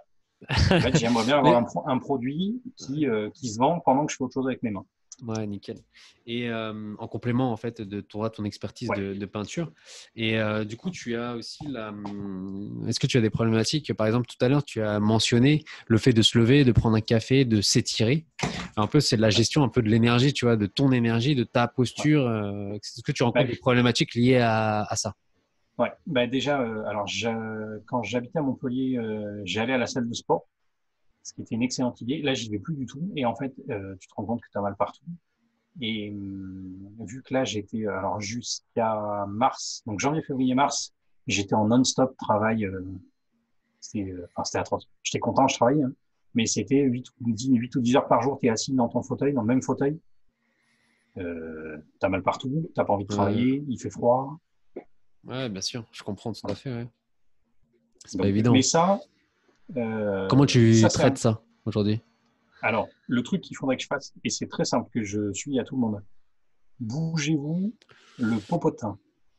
Tu te lèves le matin, au lieu de faire une heure de Facebook, parce que tu fais de la veille passive, mais tu te rends compte que Facebook, c'est un, c'est un engrenage. Tu regardes 5 minutes et tu te rends compte qu'au bout de 10 minutes, tu regardes plus du tout des trucs de travail, mais tu regardes de la merde. Ouais, euh, bah, ils sont très très forts pour ça. Hein. Ils sont très, très forts. T'attends ton oncle qui t'a envoyé des trucs, machin. Mm. Et à la place de ça, en fait, je pourrais faire exactement la même chose. Genre du YouTube, par exemple, euh, avec un, vélo d'appartement devant la, devant la télé. Mm. Ou dans l'atelier. Tu vois, j'ai mm. plein de place là. En plein milieu, je fais le vélo d'appartement et je mettrai des trucs sur l'écran. Euh, mon téléphone me sert de télécommande. Tu peux checker tes mails et faire du vélo. Ouais, c'est pas con. Hein. Surtout que on a parlé euh, tout à l'heure de faire une heure de community, euh, de devis, une heure de marketing, une heure de ci, une heure de ça. Mais euh, en vrai, je pense que ça a une importance dans l'ordre de la journée. moi, je sais, je fais une petite parenthèse que j'aime pas du tout. En fait, entre guillemets, parler avec l'extérieur ou de réagir à l'extérieur le matin. Euh, je vais me prendre pour un ours qui se réveille, rognon, grochon, je sais pas comment on dit, mais euh, moi, je sais que j'aime bien euh, garder les premières heures de la journée euh, pour tout ce qui apporte le plus de valeur, par exemple de la conception, ou concevoir quelque chose de, que j'aime faire ou tu vois quelque chose qui va apporter plus à l'entreprise plutôt que tout de suite se lancer comme tu dis par exemple sur Facebook ou sur une même une heure de sport ou un truc comme ça. Je préfère le laisser plus tard dans la journée où mon temps de cerveau est de moins bonne qualité entre guillemets tu vois et c'est pour ça qu'on enregistre le podcast l'après-midi non j'aime bien parce que tu vois mon c'est vrai moi tu vois moi exemple, je voulais le faire le matin, le podcast, parce que pour moi, euh, comme j'ai des milliards de trucs en même temps dans la tête, le, et je me lève très très tôt le matin, enfin, à 6 heures, je suis sur le pont quand même, ma femme est de matin, donc tu vois, ce matin, on s'est levé à 4h30. Ce qui veut dire que euh, je peux commencer à avoir mon cerveau qui est au travail à 5 heures du matin. Mm. Sauf que si ton cerveau est au travail à 5 heures du matin, comme tu as une entreprise, à 22 heures, il y est toujours. Et, même, entre 22h et 5h. Hein, moi, je Ouais, c'est ça. et euh, l'avantage du sport, c'est que les, les 10 premières minutes d'échauffement, tu penses pas. Et les 50 autres minutes, la totalité de ton énergie est là pour le sport. Donc, en fait, c'est ton cerveau, il s'éteint vraiment. Tu ne penses pas à ton taf, tu penses après. Et en fait, ça nettoie vraiment physiquement et moralement. C'est pratique. Et moi, je voulais le faire le matin parce que, en fait, je me suis dit, bah, le matin, on va discuter d'un truc euh, sur le travail, sur le développement, sur euh, pourquoi ça marche, pourquoi ça marche pas, euh, les problématiques des gens. parce que, après le podcast, j'ai de l'énergie à revendre. on se parle, j'ai eu plein d'idées, j'ai envie de faire des trucs, tac, on va autre chose. Alors que, tu vois, c'est un différent, une énergie différente. Là, tu vois, ce matin, j'ai bombardé pour être sûr de finir ma journée. j'ai deux, trois trucs que je vais finir parce qu'on finit le podcast. Et à 19h, je coupe complet. Alors ça, je ne le faisais pas avant, parce que j'avais un appartement et je travaillais chez moi. Et là, avoir les, zones séparées, je monte, euh, je remonte chez moi, je descends plus. Je travaille plus. Ouais, c'est ça, c'est ultra intéressant ce que tu dis. Euh, moi, je suis dans le même cas, c'est-à-dire qu'à euh, un moment donné, je travaillais vraiment la journée. Euh, pareil, je me lève vers 5h30, euh, 6h. On fait les mecs, ouais, on se lève tôt, on travaille. Mais en vrai, quand tu as beaucoup de choses à faire, dès que tu te lèves ou dès que tu ouvres les yeux, tu penses à ça, donc tu vas. Et euh, je travaillais des fois, et souvent même au-delà de 19h, 20h, 21h. Ça m'est même arrivé à répondre à des clients, tu vois, à 22h ou des trucs comme ça. Les mecs se disent, mais gros, tu dors pas. bah non. je pense, donc je, je travaille. Et je suis arrivé à la conclusion comme toi, c'est-à-dire de dire, ok, il est 18h ou ok, il est 19h, tac, j'arrête, je clôture et je quitte mon espace de travail. Et ça, c'est exactement ce que ça, je trouve, c'est indispensable. Moi, je l'avais euh, surtout dans les cours quand j'étais encore à l'école. Euh, j'avais du mal à réaliser chez moi parce que euh, chez moi, je jouais à la play en même temps. J'avais l'ordinateur qui est allumé à côté. tu as des SMS que tu reçois, etc., etc. Alors que quand tu vas, par exemple, à la bibliothèque, donc tu changes d'environnement, tu quittes ton environnement de base où tu as du loisir, du plaisir, dans, un environnement où tu travailles. Et je trouve que c'est vachement bien de segmenter en fait les deux éléments et tu es à 100% dans chacun en fait. L'avantage, euh, moi, moi c'est un peu ça aujourd'hui, c'est-à-dire que les machines, tu te doutes bien qu'elles sont pas cachées sous le lit là ou derrière les cartons. Faut que je sorte... bien. Ouais.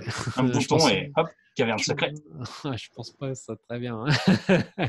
et du coup, moi, je me déplace, je sors carrément de, de chez moi pour aller euh, dans le dans l'atelier en fait. Donc euh, je prends un petit peu l'air, je prends le froid du matin. Donc c'est euh, c'est moi je trouve qu'au fur et à mesure de, de que les heures et les, les, années passent entre guillemets, je préfère travailler comme ça. je pense que toi aussi et je pense que la majorité des gens c'est comme ça aussi. Ouais, ouais, Le, ben là, par exemple, tu vois, j'avais des, des, commandes à caler fin mai. on est en plein confinement, le coronavirus, ça va décaler. Je vais officiellement les décaler. C'est-à-dire que de toute façon, le client doit commander des shipments pour me les envoyer. Il ne pourra pas les avoir, ça va les décaler. Et je voulais prendre, euh, donc du coup, tu sais, je repousse mes vacances, je dis, ah, mais non, mais euh, à la plage, je vais prendre euh, deux heures de pause dans la journée. Genre, je vais jouer deux heures à la console, puis après, j'irai travailler. C'est pas des vacances. Hmm. Là, je vais réellement prendre deux semaines de vacances. Alors, de vacances par rapport à la peinture, pas par rapport à mon entreprise. Parce qu'il faut pas déconner, on n'est pas crédible. Bien sûr. C'est surtout qu'en fait, vas-y, vas-y. Je vais toujours descendre à l'atelier, je vais ranger, ça sera propre, mais par contre, pas de commande. C'est-à-dire que je vais gérer mon planning, je vais gérer mes trucs, mais euh, je vais faire un peu de veille. En fait, tu scrolles Instagram, machin, tu postes une figurine ou deux parce qu'il faut exister dessus, mais je peins pas. Hmm. C'est 5 ou 6 heures, je peindrai pas. Déjà, artistiquement parlant, il faut que quand je m'assois à mon atelier, j'ai envie de peindre. Parce qu'il faut pas se leurrer, il, faut que ça fasse envie. Si tu peins que des trucs qui te font pas envie, à un moment donné, t'arrêtes. Et pour avoir ça, il faut créer du manque. Alors moi, j'ai du bol. C'est très rare quand j'ai pas envie de peindre. Des fois, j'ai pas envie, mais quand j'ai pas envie, je fais un socle, je fais de la sculpture, euh, je sous-couche des figurines, je gratte un truc. Donc, en fait, tu travailles. Euh, mais donc, pour avoir envie, je vais me forcer pendant deux semaines à regarder euh, autre chose et à créer l'envie chez moi d'aller peindre. Ouais, bien sûr, c'est ça. Créer l'envie, ouais, c'est une très bonne, très bonne remarque. C'est une très, très bonne remarque. et... surtout, j'en ai pas pris depuis août de l'année dernière.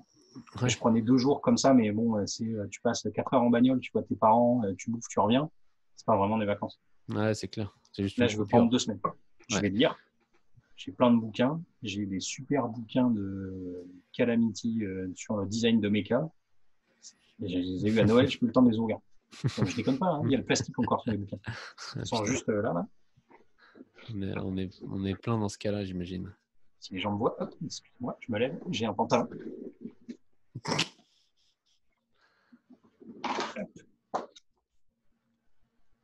Alors, si les, si les gens me voient, eh, ça, doit être, ça doit être à l'envers, mais bon. Je conseille fortement. Et l'autre, il il est sous plastique. Je ne sais pas, tu vois.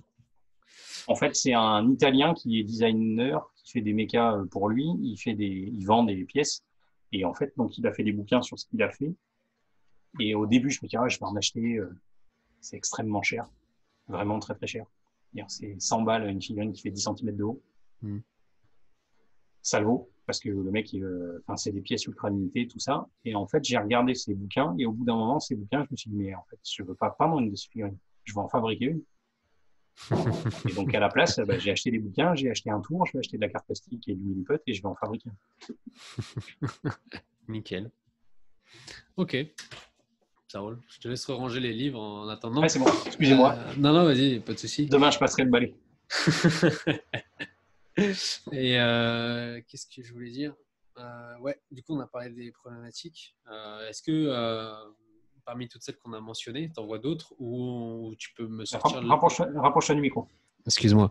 Ou rapproche le micro de ta tête. Comme là, là, est-ce que c'est mieux? Bonjour. Excusez-moi, j'ai fait un petit karaoké. Hey Là, c'est mieux. Alors, bref, je disais, euh, parmi toutes les problématiques qu'on a vues, laquelle est la plus importante? La, Celle qui est à la base de toutes, c'est quoi, selon, selon toi? Le temps. le manque de temps. Ouais. Ok. Le, le, manque, le manque de temps. Et le... bien, j'allais dire la même chose. Hein. Ouais. Le... mon, mon, plus gros problème, c'est ça, c'est qu'en fait, comme euh, tu as énormément de trucs à faire, j'ai sûrement des trucs à jeter dans la journée qui servent à rien, yes. en vrai. Euh, et des trucs à rajouter, genre le sport, parce que physiquement, à un moment donné, je vais craquer. Donc, euh, voilà. Bon, là, c'est le confinement, je peux pas sortir, mais j'essaye d'aller faire. Un, ouais, après, tu peux faire, des, du sport à, la maison. Ouais, ouais j'ai un, un, jardin, je peux faire le tour de chez moi. Enfin, là, il pleut à torrent, mais c'est l'aude. euh, ça, et surtout le fait que euh, tu as l'impression qu'il te reste du temps dans la journée pour augmenter quelque chose d'autre. Je, là, par exemple, tu vois, mes vacances, je pense que, alors, non, je dis une bêtise. Les vacances, je vais faire des vacances. Arrivé en septembre, je voulais prendre une commande, je pense que je vais la décaler fin septembre. Et au mois de septembre, je vais faire euh, mon site internet, euh, nettoyer les pages, euh, publier des vidéos YouTube, parce que j'ai plein de trucs, il faudra les monter, il faudra faire plein de choses. Euh, en septembre. En fait, c'est pour pérenniser mon activité. Mais ça veut donc dire que il faut penser que je vais décider de pendant deux semaines de pas rentrer d'argent pour en gagner plus tard. Ouais, c'est ça. C'est exactement le, temps de. De en train de couper un arbre, de déguiser ta scie. C'est pareil. Ouais. Et le l'image comme ça après le colibri euh, ah oui, moi je suis très très, très imagé très, tu, es très, euh, tu es un maître tu es le, maître des cinq pics. Je, je connais pas. Le maître zen qui a toujours un aphorisme à dire tu sais. Ah tu es comme le colibri. Tu es comme le colibri j'attrape les mouches avec les baguettes. Non mais en vrai euh, moi, tu sais, j'ai mémoire visuelle, donc j'ai besoin d'avoir des images pour.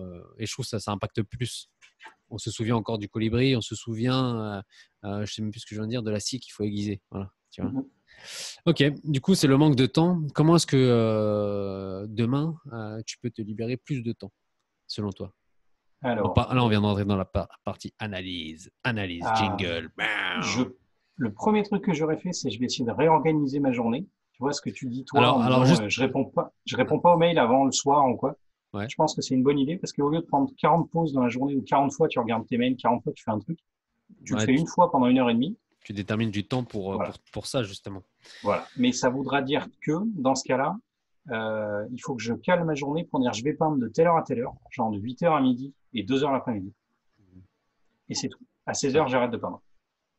Ouais, tu organises, tu organises ton temps. Voilà. Et si je ne fais que ça, déjà, euh, tu as l'impression d'avancer. Là, tu, comme j'ai toujours un truc euh, en cours, un truc en plus, tu vois, là, je vais peindre, euh, j'ai peint 4 heures ce matin, 2 heures en plus, euh, j'avance ou pas. Alors après, c'est souvent ce que tu fais, tu vois, je vais peindre, j'ai deux jours d'aéro, tu as l'impression d'avancer vachement vite. Hmm.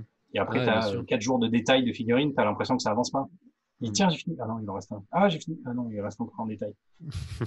Comme tu peins les figurines par paquet de 30, ça n'arrête jamais, quoi c'est clair. Donc, organiser mieux ton temps et pour ça, euh, de faire des, euh, des, segmentations, en fait, de couper ta journée et déterminer des horaires. Euh, dire voilà, de 14h à 15h, je suis sur Facebook, 15h à 16h, je réponds aux mails.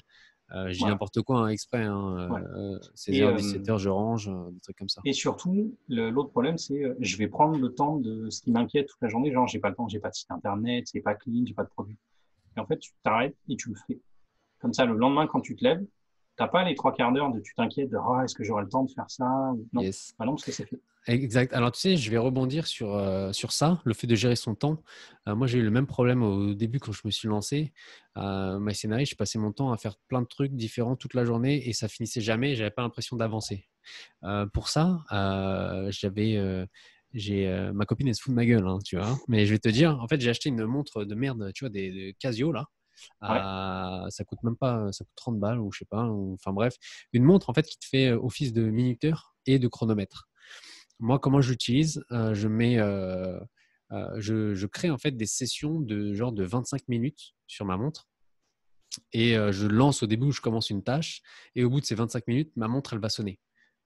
C'est-à-dire que par exemple, quand je fais des colis, euh, pour pas que ça me dure toute l'après-midi ou toute la journée ou euh, truc, je dis voilà, je vais euh, attribuer deux ou trois ou quatre euh, séances, séquences de 25 minutes. C'est-à-dire que si ma montre elle va sonner quatre fois, ça veut dire que je dois arrêter le- les colis, tu vois.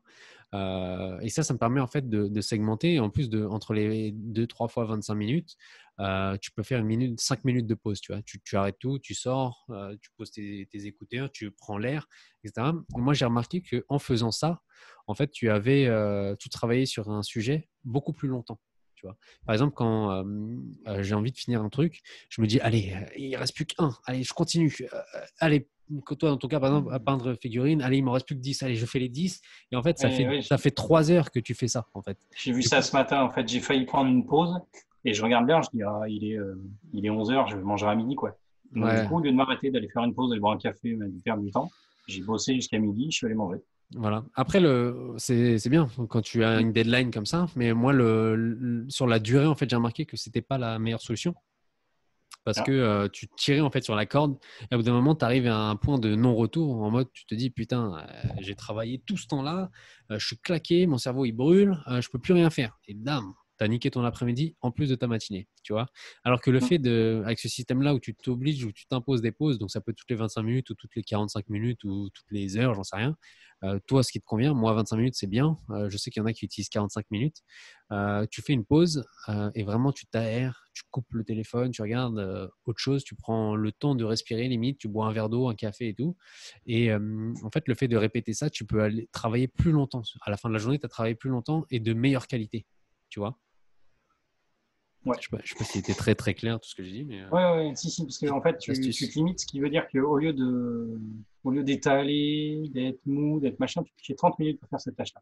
Donc, du coup, Voilà. tu es efficace pendant 30 minutes. ouais, et quand ça- tu t'arrêtes et que tu fais une pause, tu prends du recul et tu t'es dit, j'ai été efficace. Et- Alors que quand tu fais un truc pendant une heure, tu sais pas trop, tu t'arrêtes au milieu, euh, machin, Mm. j'ai pas été efficace.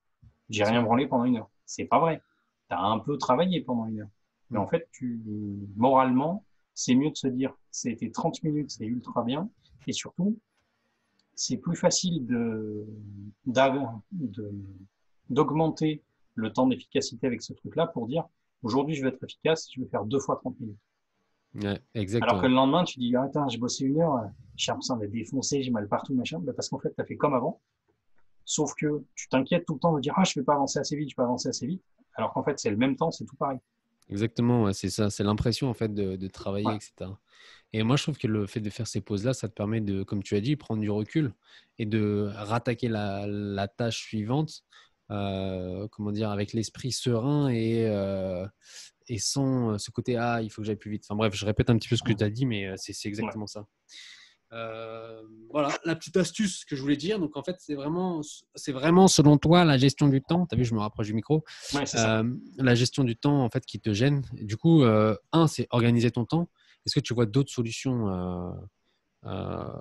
pour améliorer justement cette gestion du ben, l'autre, solution, ce serait de pouvoir embaucher quelqu'un. Embaucher quelqu'un, donc ouais, acheter le temps de quelqu'un d'autre. exactement. Le, alors, mon plus gros problème pour ça, c'est j'ai testé. J'ai fait passer des tests à deux, deux, trois personnes pendant trois, quatre jours, une semaine. Je n'arrive pas à trouver des gens qui peuvent être efficaces pendant une journée. Les mecs, ils viennent, ils peignent deux heures.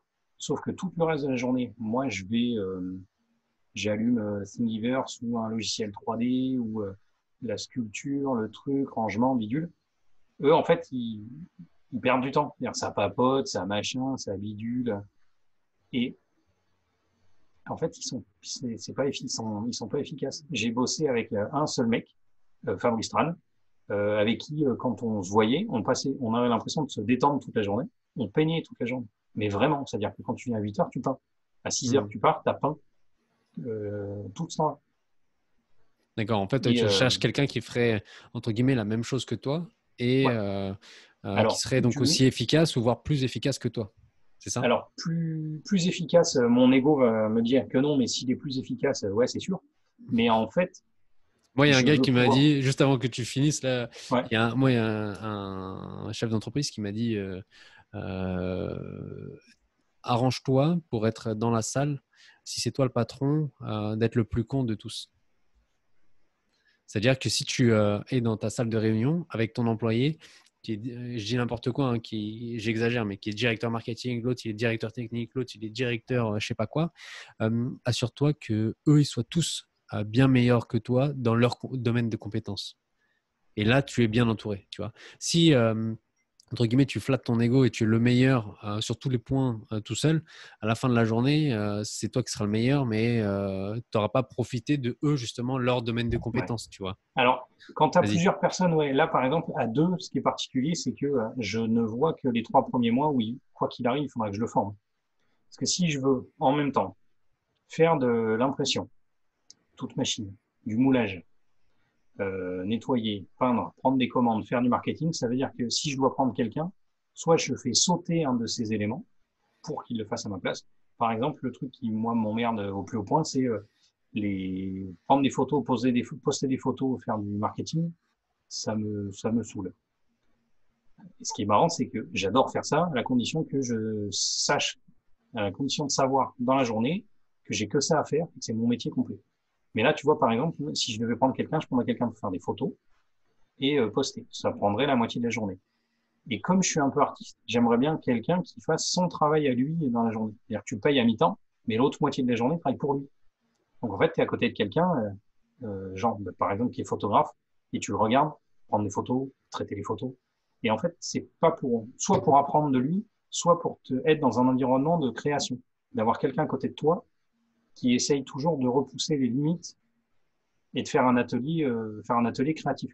Ouais, d'accord. En C'est d'ailleurs pour ça que tu prends euh, Games Workshop, euh, Rackham à l'époque, ils avaient les dessinateurs, les sculpteurs, les peintres, tout le monde est au même endroit. Parce qu'en fait, tu te nourris du fait que l'autre est en train de travailler.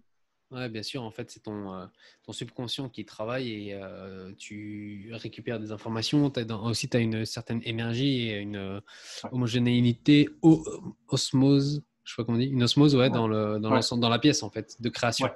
Et pour les peintres, artistes et tout, quand tu dois créer, euh, euh, je trouve des nouveaux schémas, etc., je pense que c'est, ultra, ultra performant. Ouais, ouais, ouais. Et puis, ça, ça te permet, tu peux, tu discutes. euh, par exemple, euh, moi, j'ai un pote qui est euh, dessinateur pour euh, des dessins animés ou des jeux ou des trucs.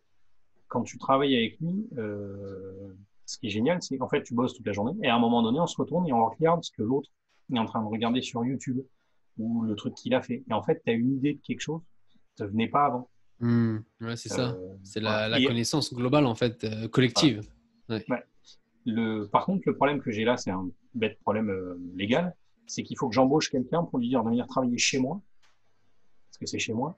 Donc il, faut lui, donc il faut que physiquement je ferme les portes pour qu'il puisse rentrer dans son atelier parce qu'il va venir travailler. Et je, vais, je ne vais l'embaucher qu'à mi-temps. Sauf que légalement, s'il travaille dans l'atelier, il est employé de l'entreprise. Donc je suis censé le payer à temps plein.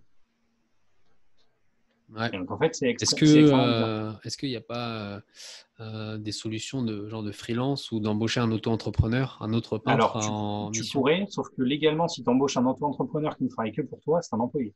Pas un auto-entrepreneur. Ouais, mais il n'y a pas une durée euh, tu- limite ou je sais pas quoi?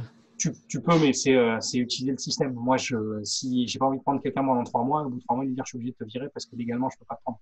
Je veux pouvoir. euh, C'est pour ça qu'en fait, un atelier d'artiste, il faudrait euh, que je sous-loue à l'entreprise mon local à moi, à l'entreprise à part, pour qu'en fait, ce local en personnel, je puisse le louer à un, à un artiste.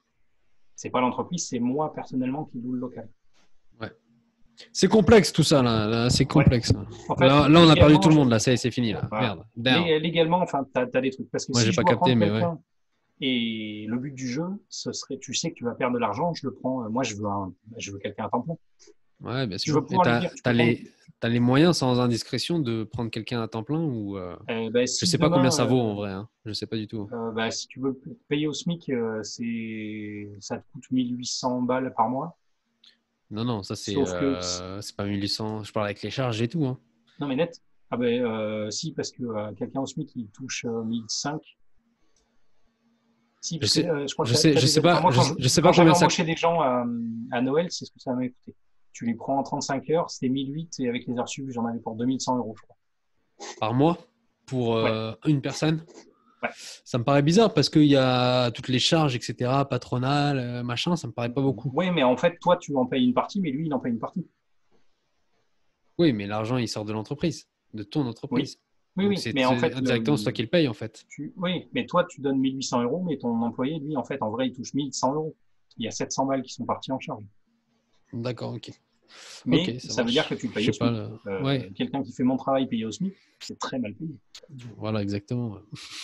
T'as t'as pas envie. C'est pour ça que je voudrais prendre quelqu'un. euh, Après, au début, quand, quand tu te développes, tu gagnes pas d'argent. Tu t'investis. Je, je vais prendre de l'argent d'avance et je vais dire bah, pendant trois mois, on va pas en gagner. Ou alors, je vais bombarder pour travailler. Euh, je vais former quelqu'un. Et dans trois mois, on va prendre deux commandes au lieu d'en prendre une. Et donc, du coup, on va doubler. Parce que le but du jeu, c'est ça. Quand tu embauches quelqu'un, tu payes 2000, mais tu veux gagner 3 ou 4000 euros. Au plus. Après, je pense que, euh, je sais pas si tu as pensé, j'avais entendu parler de ça, euh, à un regroupement en fait de peintres. Qu'est-ce que tu penses de, Alors, de cette idée ça, et- c'est le truc qui serait ultra bien, c'est si on pouvait se regrouper à plusieurs.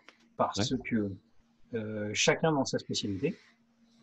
Et le déjà, tu fais, de, tu fais du marketing pour 7, enfin 4, 5, 6, 7.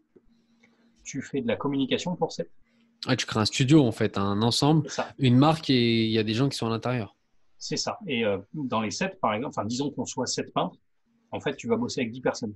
Tu vas avoir une personne qui va faire des photos toute la journée. Photo marketing, c'est tout. Tu as une personne qui va s'occuper de comptable, tout le bordel. Sauf qu'en fait, ça, c'est une entreprise. C'est-à-dire qu'en France, si tu fais un regroupement de peintres et que tu as un employé pour le regroupement, euh, les médecins peuvent le faire, je crois. Tu peux tout mettre. En fait, tu fais un cabinet avec des médecins, mais en fait, ils peuvent le faire parce qu'ils sont libéraux. En fait, tu crées une, entreprise et une partie de tes gains, tu les mets dedans et cette partie-là paye le reste. Je sais, moi, je sais que du regroupement d'intérêt général, euh, non, d'intérêt économique, tu peux, en France, on ne peut le faire que pour les nouvelles technologies. D'accord, ok. J'ai pas toutes ces informations-là, mais après, tu n'es pas obligé d'embaucher quelqu'un juste pour euh, gérer toutes ces personnes-là. En fait, chacun Non, non, non. est un Ça- peintre ça, indépendant, du- tu vois. Voilà, je pars du principe. Alors après, tu as d'autres trucs. Si tu embauches sept personnes en peintre indépendant, on est tous concurrents les uns des autres. Si tu en as un qui bosse moins que les autres, il a plus envie de bosser. Et en fait, ce qu'il veut, c'est il veut, il veut essayer de te, te piquer un client. D'accord, donc toi, tu joues sur la concurrence, en fait, que c'est pas possible Voilà. à cause de la concurrence. Voilà. C'est un truc, point de vue. Après, je suis. Ouais. Vas-y. Si tu prends des, des gens qui travaillent et qui ont, comme moi, tu amènes des clients, mais tu as, un, as des clients qui resteront avec toi. Ils iront pas voir euh, Tartampion, euh, machin. Mais par contre, moi, ce que euh, j'ai pas envie de, si je prends des gens dans l'atelier, je veux que mon identité s'efface et que ce soit le, la qualité de l'atelier. Parce que si quelqu'un nous commande une armée, tu sais pas qui c'est qui va la peindre. C'est une des personnes de l'atelier ou toutes les personnes de l'atelier qui vont la peindre. Mm. Donc en fait, il faut euh, que les commandes de l'atelier, la plupart du temps, ce sera des commandes d'armée, soient faites par l'atelier. Et quand on me demande une figurine à part pour toi, en fait, tout ce que tu vas faire en figurine haut niveau ne seront pas des figurines de travail. Ce sera que du passe-temps. Ce qui veut dire que comme ça, tu peux dire la totalité de mon travail, c'est pour l'entreprise. Et si je veux, moi, gagner un prix, ça n'a rien à voir avec mon travail. Alors qu'en ce moment, si je veux gagner un, un tournoi, vu que c'est mon travail, j'ai besoin de gagner un prix pour que ça rejaillisse sur la réputation de l'entreprise. Ouais. Alors que si on était un, un studio, le studio fait des commandes, et moi, bah, Velven, vais gagner un prix parce que ça me fait plaisir de gagner un prix. Ou encore mieux, j'irai à un tournoi pour peindre une figurine du mieux que je peux et gagner un prix, j'en aurais rien à faire. Mm. C'est le but ultime.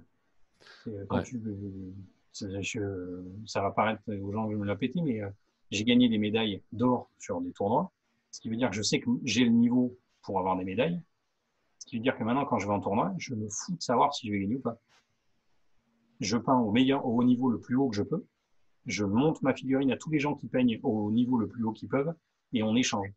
Je reprends ma figurine, je repars. Et en fait, c'est l'expérience que tu as gagnée avec laquelle tu repars. bien sûr, c'est ça le vrai gain, en fait, pas la médaille. Voilà, si tu gagnes un prix, tu es content. Sauf que quand c'est ton travail, le problème, c'est gagner un prix, ça te permet de poster une réussite. Mais après, tu le fais au nom du studio.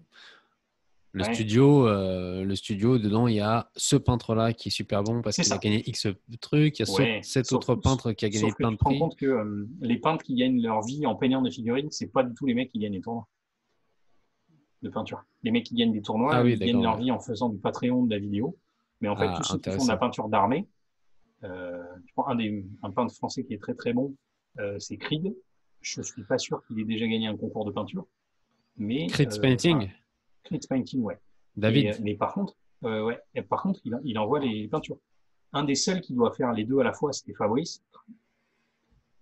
Fabrice Tran, c'était le seul à faire, à gagner un Golden Demon et à peindre de la figurine d'arme. Hmm. On va en prendre un autre, un type que j'aime bien, Nico Dez. Lui, il ne peint pas de figurines d'armée. Il veut faire que de la figurine au niveau. Nico Dez. Il gagne des concours, hein. machin. Mais par contre, euh, il est euh, dans les peintres, il va être peint pour les studios, pour les. Et il ne veut pas faire de la peinture d'armée. C'est Little Demon, non Ouais, Little Demon Studio, ouais. Ah putain, tiens, ça me parlait. Little Demon, j'avais parlé avec lui justement sur un live. Euh, euh, Commander TV, ouais. Ouais, exact, ouais, de Libre Antenne, etc. J'ai parlé avec lui et euh, j'avais posé des questions. Ça me fait penser, euh, euh, comment dire, de comment est-ce que chacun se formait? Tu vois, j'avais posé la question comment tu es peintre? Ok, moi je ne sais pas peindre, j'aimerais m'améliorer en peinture. Comment est-ce que toi, Benji, tu te formes à, à, développer ton niveau de peinture? Tu parlais tout à l'heure des tournois euh, enfin des tournois, des, j'aime pas appeler tournoi pour la peinture, c'est plus un concours de peinture. Des concours, ouais. Ouais, concours de peinture où euh, tu récupères et tu repars avec une médaille ou pas, mais surtout avec de l'expérience. C'est ça qui te permet de te former. Euh, c'est quoi les autres vecteurs, enfin les autres façons de te former? Alors le premier, c'est pardon, sans s'arrêter. L'expérience, c'est. C'est la pratique. L'expérience par la pratique. Voilà. L'autre c'est le meilleur. Truc, Voilà. L'autre truc après. C'est aller sur les concours même si tu participes pas pour voir des figurines en vrai. Et le troisième, c'est à réussir à trouver un autre truc artistique à suivre qui n'a pas grand chose à voir avec la peinture. Par exemple, faire de la sculpture, euh, faire du design 3D, faire euh, jouer aux jeux vidéo, euh, ou euh, faire, je sais pas, faire de la photo, faire de la cuisine, faire. En fait, c'est un truc créatif qui maintient ton cerveau dans on peut toujours s'améliorer quelque part. Si tu fais tout le temps la même chose et que tu ne parles qu'avec des gens qui font le même truc que toi, à un moment donné, tu as l'impression d'être arrivé au maximum de tes capacités. Hmm. Ce qui est absolument pas mon cas. Je, il y a beaucoup trop de peintres qui sont bien meilleurs que, moi et que je veux faire des trucs que je sais pas faire. Il y a plein de peintres qui font des trucs que je sais faire. Ça ne veut pas dire que c'est pas bien. Mais à mon niveau, je me dis, je sais faire. Il y a des peintres, je regarde, je fais, ça, je sais pas faire. Je veux savoir le faire. Pourquoi je ne sais pas. J'aimerais juste euh, avoir ton avis euh, rapidement euh, sur aujourd'hui, parce que tu as parlé beaucoup de comment se déplacer, comment faire voir ses figurines dans les concours, etc. Mmh. Mais aujourd'hui, il y a de plus en plus de Patreon, comme tu as dit, de, YouTube, de, de formations peut-être en ligne, etc., de visibilité en fait sur le net. comment est-ce que toi, tu vois l'évolution de, ça, des peintres d'ici plus loin? Et juste, avant que tu, juste, avant que tu, répondes, en... après, après ça, on part en mode solution. Je récapitule les solutions. Et après, la prochaine action pour le, le prochain, parce qu'on va bientôt arriver à, je sais pas, une heure et demie ou plus de, de, de euh, live, je crois. Ouais, ça va être long, il faut qu'on enquille le tien. Euh, ouais, après on va le faire peut-être aujourd'hui ou plus tard, mais euh, le top serait aujourd'hui, comme ça on est chaud. Bref. La peinture, l'avenir, le futur sur le Patreon, ton avis là-dessus et la formation en ligne, tout ce qui existe en ligne. Alors, le... pour faire un Patreon, il faut pouvoir déjà prouver quand tu montres euh, quand il dit aux gens, regardez mon Patreon, je fais ça. Si vous venez chez moi, je produis euh, telle et telle et telle chose pour le Patreon, donc payez-moi. Il faut pouvoir prouver que ce que tu vas donner est bon. Donc, un, la le premier frein, c'est la légitimité, en fait. Légitimité. légitimité. Donc, tu prends le, celui que j'ai en tête, le maximum, c'est Ben Comet, qui a passé deux ans à faire des vidéos euh, à part. Et au bout de deux ans, il a dit, au fait, je commence un Patreon. Je crois que ça doit être le peintre qui gagne le plus d'argent. Il doit faire 6 000 euros par mois. D'accord. Parce que Et qu'est-ce qu'il donne a son Patreon C'était les meilleures vidéos du monde. Euh, je sais pas du tout. D'accord. C'est, en fait, il a dit, je vais, les vidéos, ça va ressembler à ça. Donc, il a fait les vidéos gratuites. Il a dit, vous pouvez voir. Si vous voulez d'autres vidéos, c'est ça. D'accord. Et en fait, l'avantage du Patreon, c'est 1, 2, 3 euros. Le problème qu'il y a, moi, si demain je fais un Patreon en disant je vais vous faire des vidéos de formation ou des cours, j'ai peut-être deux, trois potes qui vont filer 1 euro. Donc, je, je vais gagner 10 euros par mois. Mais la quantité de travail que ça va demander de produire toutes les semaines ou tous les mois un nouveau truc fait que tu vas pas gagner assez.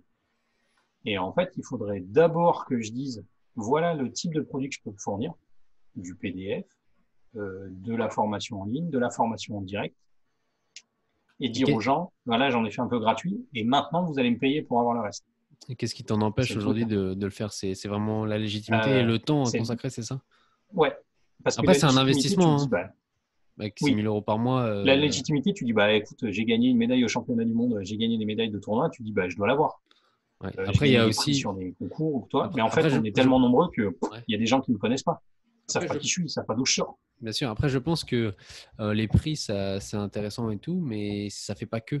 Je pense que euh, quand tu es en tant que client et que tu t'intéresses à, à supporter un peintre, euh, tu as aussi le côté personnalité, le côté style de peinture dont on n'a pas trop parlé, et tu as aussi le, comment dire, la pédagogie en fait du gars.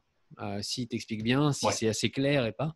Et je pense que ça, ça a autant de parts, voire plus de parts que juste euh, les prix. À mon sens, hein. après, c'est- ça reste que Ah, c'est pas le prix. Mais donc, il faut pouvoir prouver avec deux, trois vidéos ou, euh, ou des PDF ou des cours que tu peux fournir.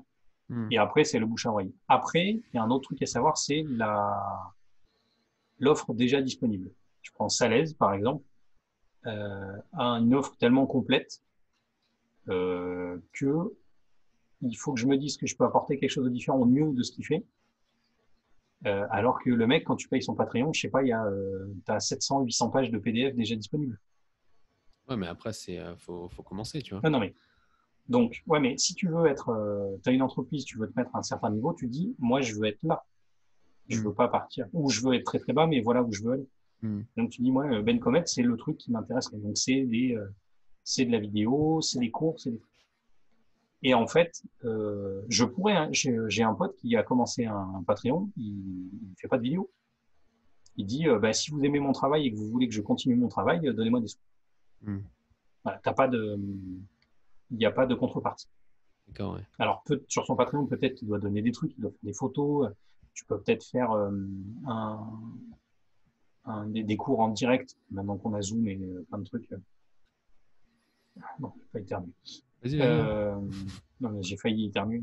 C'est arrivé ça. ça, ça veut dire que tu euh, vas tomber amoureux. ah euh, non. Ça, ça c'est déjà fait. Ouais. Nickel. De ma femme, à qui je fais une bise d'ailleurs, parce qu'on fête nos 8 ans aujourd'hui. Waouh, les anniversaires. Aujourd'hui, c'est la Eh semaine ouais. des anniversaires. Exactement. Ouais, nous, c'est le, les deux jours d'anniversaire. Ouais. Euh, Alors, Je sais est-ce que j'en étais avant de parler de ma femme. Euh, Ah, ça t'a oui. perturbé, hein eh ouais, évidemment. Le, ouais, donc le- il faut que j'arrive, il faudrait que je puisse prouver que je peux fournir des trucs. Je n'ai pas l'ego suffisamment grand pour dire euh, si vous aimez mon travail, donnez-moi de l'argent.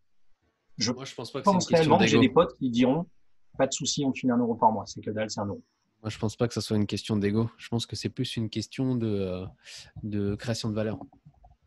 Moi, je, je rabâche euh, à chaque fois que je parle euh, avec des partenaires ou quoi, je dis, euh, mec, ce qui est le plus important, c'est la création de valeur. Et les mecs, ils me regardent. Bon, création de valeur, qu'est-ce que ça veut dire? Euh, Oui, En fait, que alors si tout le monde n'a pas pu profiter, mais c'est exactement la tête que j'ai faite quand il a une création de valeur. Je fais, hum, La création de valeur, en fait, pour le faire le plus simplement possible, en gros, c'est su- comment dire? Avant, il y avait ça.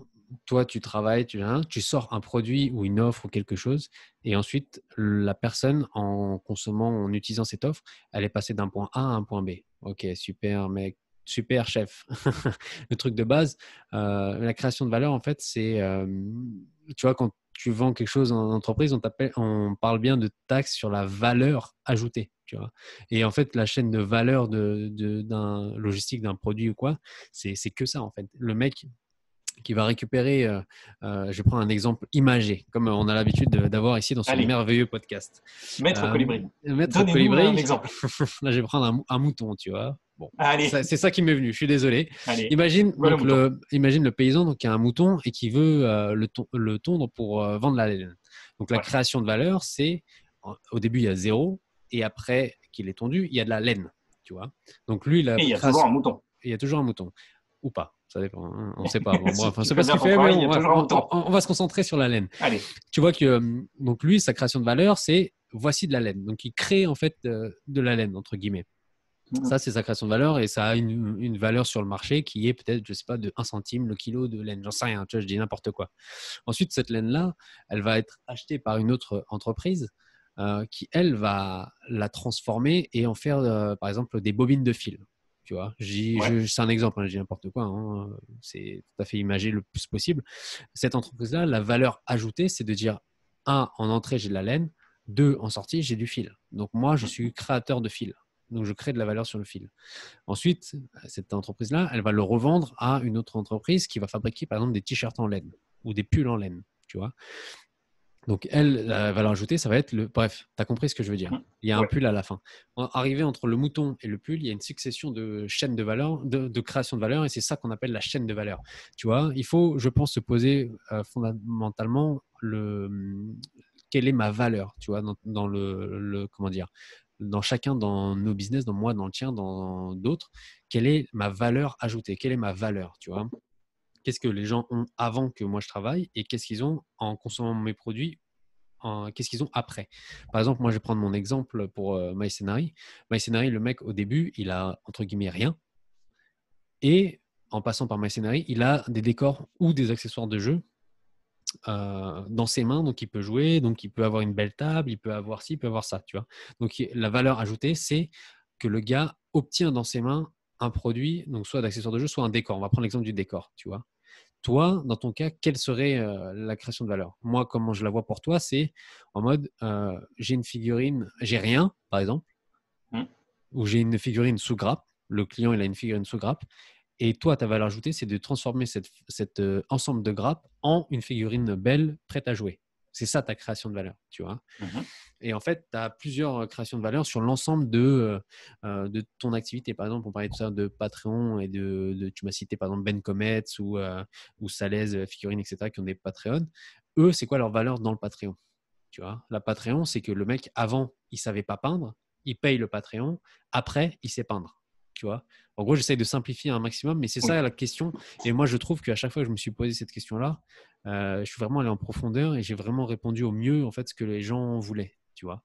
Donc, j'invite tous ceux qui ont un business ou quoi, ou même pas un business, un projet ou une organisation ou quoi que ce soit, sur se poser la question quelle est ma, valeur ajoutée, quelle est ma, la création de valeur, qu'est-ce que je crée comme valeur, tu vois? Euh, Tu as réfléchi pendant tout ce que j'ai dit, parce que je vais te poser la question, mec, c'est quoi ta création de valeur? Alors, ma création de valeur, comme tu l'as dit, ce serait de dire vous avez rien, vous avez une figurine peinte, euh, sauf que c'est pas la seule que je peux amener. Voilà, oui, c'est ça. Il y a plein Un, je peux faire des cours. Euh, je peux peindre des figurines. Je peux montrer comment monter les figurines. Je peux montrer comment je passe ma journée complète. Je peux montrer comment j'organise. Ça, c'est ce que tu fais. Comment je filme. Ça, c'est ce que tu fais, euh, Benji. Moi, je parle en mode euh, à la place de la personne qui est en face, en, mm. te disant lui, qu'est-ce qu'il va apprendre en fait? Qu'est-ce qu'il va lui va gagner? Qu'est-ce que, ben, que lui va repartir en fait, c'est je vais dire, tu veux, euh, si t'as rien, c'est soit une figurine peinte, soit euh, de, la de la connaissance parce que tu vas savoir monter une figurine, tu vas savoir peindre une figurine, mmh. tu vas savoir peindre à la chaîne une figurine et faire une armée, euh, tu vas savoir filmer, ou après c'est juste du, t'as le côté hobby de YouTube où c'est juste, il y a des gens qui payent parce qu'ils sont intéressés de savoir comment tu fais ta journée. C'est du divertissement. C'est pour ça qu'on est, euh, on fait de l'entertainment. C'est-à-dire que quand tu fais une vidéo, c'est pas juste euh, regarder ce que je fais. Il faut que la vidéo soit intéressante à regarder. Exact, C'est pour ça que je parle de moutons, de colibris. Je dis ça, mais euh, mon expérience, c'est pour l'instant, j'ai fait deux vidéos. Il y en a une de publiée. D'accord, oui. Ok. C'est C'est-à-dire que- tu débutes, t'avances. Hein. Un imbécile euh, qui marche ira toujours plus loin qu'un intelligent qui reste assis. Hein. Audiard. Voilà, nouvelle image. Bam, bim, bim, bim, bim. ok, pour conclure, euh, mon Benji, dis-moi, euh, quelles sont. euh, on a parlé des solutions, je vais les réénumérer rapidement. Un, organiser mieux le temps. Deux, embaucher quelqu'un, donc pour faire des tâches complémentaires et ou euh, identiques à toi. Et trois, euh, créer un nouveau, euh, une nouvelle source de revenus, par exemple le Patreon, de la formation, etc. Benji, quelle est la prochaine action que tu vas faire avant le prochain podcast? Alors, euh, si le podcast, on le fait dans 5 minutes, rien. Non, non, t'occupe pas, t'occupe pas. je vais me faire voilà. La, Le- la semaine prochaine, Bon. on va dire. Dans, la- Bon. dans- dans une semaine, c'est quoi la- l'action? Tu vas me dire, hey, Alex, ça y est, j'ai fait ça. Mon prochain truc, c'est la réorganisation du temps. C'est là où j'ai le plus. Il n'y a que moi qui peux décider ce que je peux faire D'accord. et comment le faire. C'est à moi de me démerder. Donc, euh, je me lève le matin en disant Attends, je vais pas faire comme d'habitude. Alors, vas-y. ça comme ça. C'est quoi l'action Et euh, après, on va voir si tu as fait des, des, euh, tes devoirs. le premier truc, donc réorganiser le temps et pas me disperser. Alors, je ferai peut-être pas comme toi sur du 25 minutes parce que parce que je peux être in the zone pendant deux heures. Mais par contre, c'est, je me dis pas d'internet avant 16 heures. Pas d'internet avant 16h. Ok. Le matin, tu te lèves, tu, je check euh, euh, le- le- les informations. Tu fais un café, nourris le chat, euh, voilà. mais c'est veux. C'est voilà. Et après, à 16 heures, là, je m'occupe de un peu internet, un peu machin, un peu de réponse, un peu de bidule. Tout repousser en fin de journée. Comme ça, déjà, euh, t'as pas l'impression de perdre ton temps, t'as pas l'impression de t'éparpiller, t'as pas l'impression de faire des. Après, ça dépend de quel type de travail je vais faire. Euh, c'est pour ça que c'est compliqué pour moi de, le fixer. C'est, imagine demain, j'ai un pro qui m'appelle en disant j'ai besoin de figurines euh, pour un jeu qui sort dans tant de temps. Il va me dire on, pose une deadline. Mais en fait, ce genre de figurines-là, je bosse dessus 8 ou 9 heures. Si je suis dessus, je suis dessus. Je m'arrête pas. Donc c'est pas la même façon de travailler. Les armées, comme c'est des trucs très répétitifs, donc très très très chiants, euh, excusez mon langage, au bout d'une heure et demie, j'en ai marre. Et en fait, c'est ça le truc qu'il faut que je fasse, c'est qu'il faut que j'arrive à euh, faire des paquets de une heure et demie ou deux heures sur des trucs très très chiants et à modifier la façon que j'ai de travailler pour que ce soit le moins chiant possible. Mm. Et là, mais c'est de la, c'est pour l'instant, c'est réorganiser mon temps, ça va être le premier truc, euh, ça va être le plus facile. Ok, donc la prochaine fois, euh, on va commencer par. euh, enfin, la prochaine fois dans une semaine. Alors, Benji, Ouais. comment. Il faut que tu puisses nous le prouver, hein, attention. hein. Ouais. Ouais, mec. hein. Ouais. Faut que tu puisses prouver, voilà. euh, j'ai, euh, si je, c'est-à-dire, si je vois un like euh, de. de Babel Ben Minis euh, sur des photos ou quoi que ce soit, avant 16 Non, heures, là, je, je t'envoie un message. Eh oh, mec Non, non, je, je, je like tes posts quand je veux. Non, mais ok. Pas de Non, mais quand je dis ça, je pense que je ferai mes, mon 20 mes 20 minutes de Facebook et d'Internet le matin parce que comme ça, je regarde ce qu'il y a dans la journée. Mais en fait, il faut que je regarde et que je Moi, je serais toi. per- personnellement, je regarderais même pas le matin. Ouais, tu as raison. Après, Moi, n'ouvrirai même pas. hein. Mais bon, Ouais. après, c'est, plus fort. Non, non, mais hein, c'est- je pense que tu as raison. Je vais. euh, on va clôturer. Je vais juste te mettre Ouais. euh, mon avis un peu euh, global sur le, le peintre, Je, je me prépare. Les peintres pro, euh, sur ton business. Après, c'est tout le monde en vrai, tu vois. Euh, je vais rebondir un petit peu sur ce que je disais tout à l'heure sur la création de valeur. Euh, quelle est ta création de valeur? Et aussi, d'après tout ce que tu me dis, il y a des choses qui te font plaisir et d'autres qui te font moins plaisir. Par exemple, peindre une armée, ça te saoule rapidement ou c'est assez compliqué en termes d'attention, tu vois? Il y a peut-être des choses, comme tu dis, où je suis en mode flow ou en mode in the game, là. hein. Mm. Euh, Je reprends tes termes. In the zone. In the zone, voilà, c'est ça que tu as dit. Ouais. Et ça fait, euh, c'est peut-être ça en fait que qui- qu'il faudrait se concentrer et concentrer pardon et enlever euh, l'autre. Bref, moi il y a trois points. On va faire comme ça, euh, structurellement parlant, Allez. il y a trois points euh, que je vois en termes d'amélioration. Un, c'est en mode, il faut diversifier son activité. En, en- je dirais ça, oui, ok, mais c'est plus en fait se concentrer sur ce qui te rapporte le plus euh, en termes d'a- d'argent ou les actions qui te rapportent le plus à long terme. C'est-à-dire que euh, euh, quelle est ta valeur ajoutée? Pareil, tu, si tu réponds à la question oui, euh, c'est peindre des figurines. Donc, un, je ne fais que peindre des figurines de telle heure à telle heure en mode je peins au maximum. Tu vois, c'est se concentrer en fait dans ta journée quand tu as 10 heures. euh, tout à l'heure, on a dit que tu faisais 5 heures de peinture, par exemple. Euh, peut-être qu'il faut enlever euh, d'autres choses, les déléguer ou les ouais. supprimer pour ra- rajouter dans ton répartition de ton temps de la journée, de faire plus de, de ce qui te rapporte le plus. Mm. Tu vois Je dis ça, c'est valable pour moi aussi. hein, On en parlera plus tard, mais euh, c'est valable pour moi aussi. La deuxième, c'est euh, donc de mieux organiser le temps, comme tu, l'as dit tout à l'heure. Euh, c'est de euh, mieux organiser le, temps. Dans quel but Tu vois, c'est pour gagner quoi? Moi, je sais que chaque fois que je fais une action, en fait, je, je- j'évalue en me disant euh, si je fais cette action-là, quels sont l'objectif derrière, quels sont les résultats attendus, combien je vais gagner. Par exemple, je te donne un exemple rapide. Euh, le, quand je fais un changement d'une pièce sur une machine, par exemple sur l'impression 3D, je vais me dire je vais rajouter un, ventilateur, par exemple, un refroidisseur pour la tête en plus que celui de base. Je dis ok, nickel. Pourquoi, euh, pourquoi je le ferais? C'est quoi l'objectif? Quels sont les résultats que je pourrais attendre derrière? Bah, c'est stylé. En fait, j'ai vu ça sur internet et la tête, elle est super jolie. Ouais, ok, on, on s'en fout, mec. Tu vois, c'est pas ça, c'est pas ça ton truc. Euh, ouais, mais tu verras, euh, c'est mieux. euh, le débord, on le voit moins, etc. Ouais, non, il y a d'autres façons de le faire et t'as rien besoin de rajouter. Ah, ok. Non, En fait- surtout que tu vas te dire, j'ai euh, ma machine va pouvoir fonctionner 25% de plus. Voilà, c'est là où je voulais en venir. Voilà, exactement. C'est là où je voulais en venir. J'ai gagné vu. de la maintenance. Exactement. J'ai gagné du temps en fait de production, donc ça va être plus 10%, plus 20% de temps de production. Donc c'est ça en fait le résultat recherché, tu vois. Donc c'est quand tu, tu réfléchis comme ça, j'ai remarqué que tu, tu- tu arrives à faire beaucoup plus de, de trucs en moins de, de temps, tu vois. Enfin, en plus efficient, etc. Ensuite, le, troisième et euh, dernier point, c'est que moi, je ferai le maximum d'actions en priorité pour te déconnecter en mode euh, je euh, libère du temps, c'est-à-dire je fais d'autres produits qui ne demandent pas mon intervention. Aujourd'hui, ton plus gros problème, et c'est le plus gros problème de tous les peintres, c'est de 1, j'ai une heure de temps, je vends mon temps. En fait, pour moi, d'un œil extérieur, tu es comme un salarié, en fait. Tu vends ton temps contre de l'argent. Tu es un travailleur autonome parce que tu es un indépendant, donc tu vends beaucoup de ton temps pour beaucoup d'argent, entre guillemets, tu vois. Mhm. Euh, le but, en fait, pour moi, et ce sera ça le troisième dernier point, c'est de segmenter et euh, de séparer en fait ton temps euh, de, de l'argent en fait, en créant peut-être des formations vidéo que tu pourrais vendre à un ou un million de personnes, ça change rien en termes de temps pour toi, etc. Tu vois, plus de s'axer sur ça. Et je pense que la majorité des peintres pros euh, s'ils veulent. Après, ça dépend des objectifs de chacun. hein. Tu vois, je te dis ça parce qu'on Oui, a puis- peut-être des ça dépend, ça dépend du feeling, par exemple. du Moi, feeling. que euh, voilà. Mon approche de la vidéo, c'est je veux faire la vidéo gratuite parce que je considère qu'elles sont pas assez bonnes pour être un produit. Alors, comment tu pourrais faire pour qu'elle devienne un produit? Et donc, pour la seule technique que je vois pour l'instant que ça devienne un produit, c'est d'en On va faire beaucoup, oui, bien sûr, mais après, une fois Non. que tu en as fait beaucoup gratuit, euh, Si tu considères à partir du moment où j'en aurais fait beaucoup, là pour l'instant je suis au début, euh, Ouais, vraiment sûr. au début début. bien sûr, bien sûr. À partir du moment où tu t'en fais quelques-unes, tu après ça coûte rien, tu peux faire un Patreon. S'il fait zéro, tu l'arrêtes.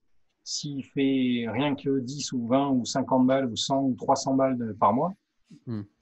bah, c'est toujours ça. Après tout dépend euh, le, ce que tu vas mettre dedans. C'est Ce que tu vas temps mettre que dedans et surtout tes objectifs aussi, ce que tu veux faire derrière. Si tu veux gagner un million d'euros ou si tu veux juste kiffer euh, ta journée, tu vois, et gagner Ouais, c'est 2, ça. 3, 4 000, c'est quoi tes objectifs euh, en termes de temps, en termes Alors moi, c'est pas un de- million d'euros. hein. Moi, je, ouais, ouais. Moi, c'est, euh, je veux que l'argent soit plus un problème. À quel moment que si sera plus un problème? À partir de quel Ah, montant? Ah ouais, moi, dans les 3 000, je pense que entre 2 et 3 000 euros par mois, je me pose plus de questions. En, en net euh, sans rien faire ou en travaillant tous les jours comme tu fais Ah non, en travaillant, je pourrais pas. Si demain on me dit vous gagnez 2 000 euros par, euh, Moi, et tu euh, par mois et en rien, je vais trouver un truc à faire. Ouais, bien sûr. Voilà. Pareil, je pense qu'on est tous pareils. hein. ça, non, on n'est pas tous pareils. Je connais plein de gens qui rêvent de rien faire.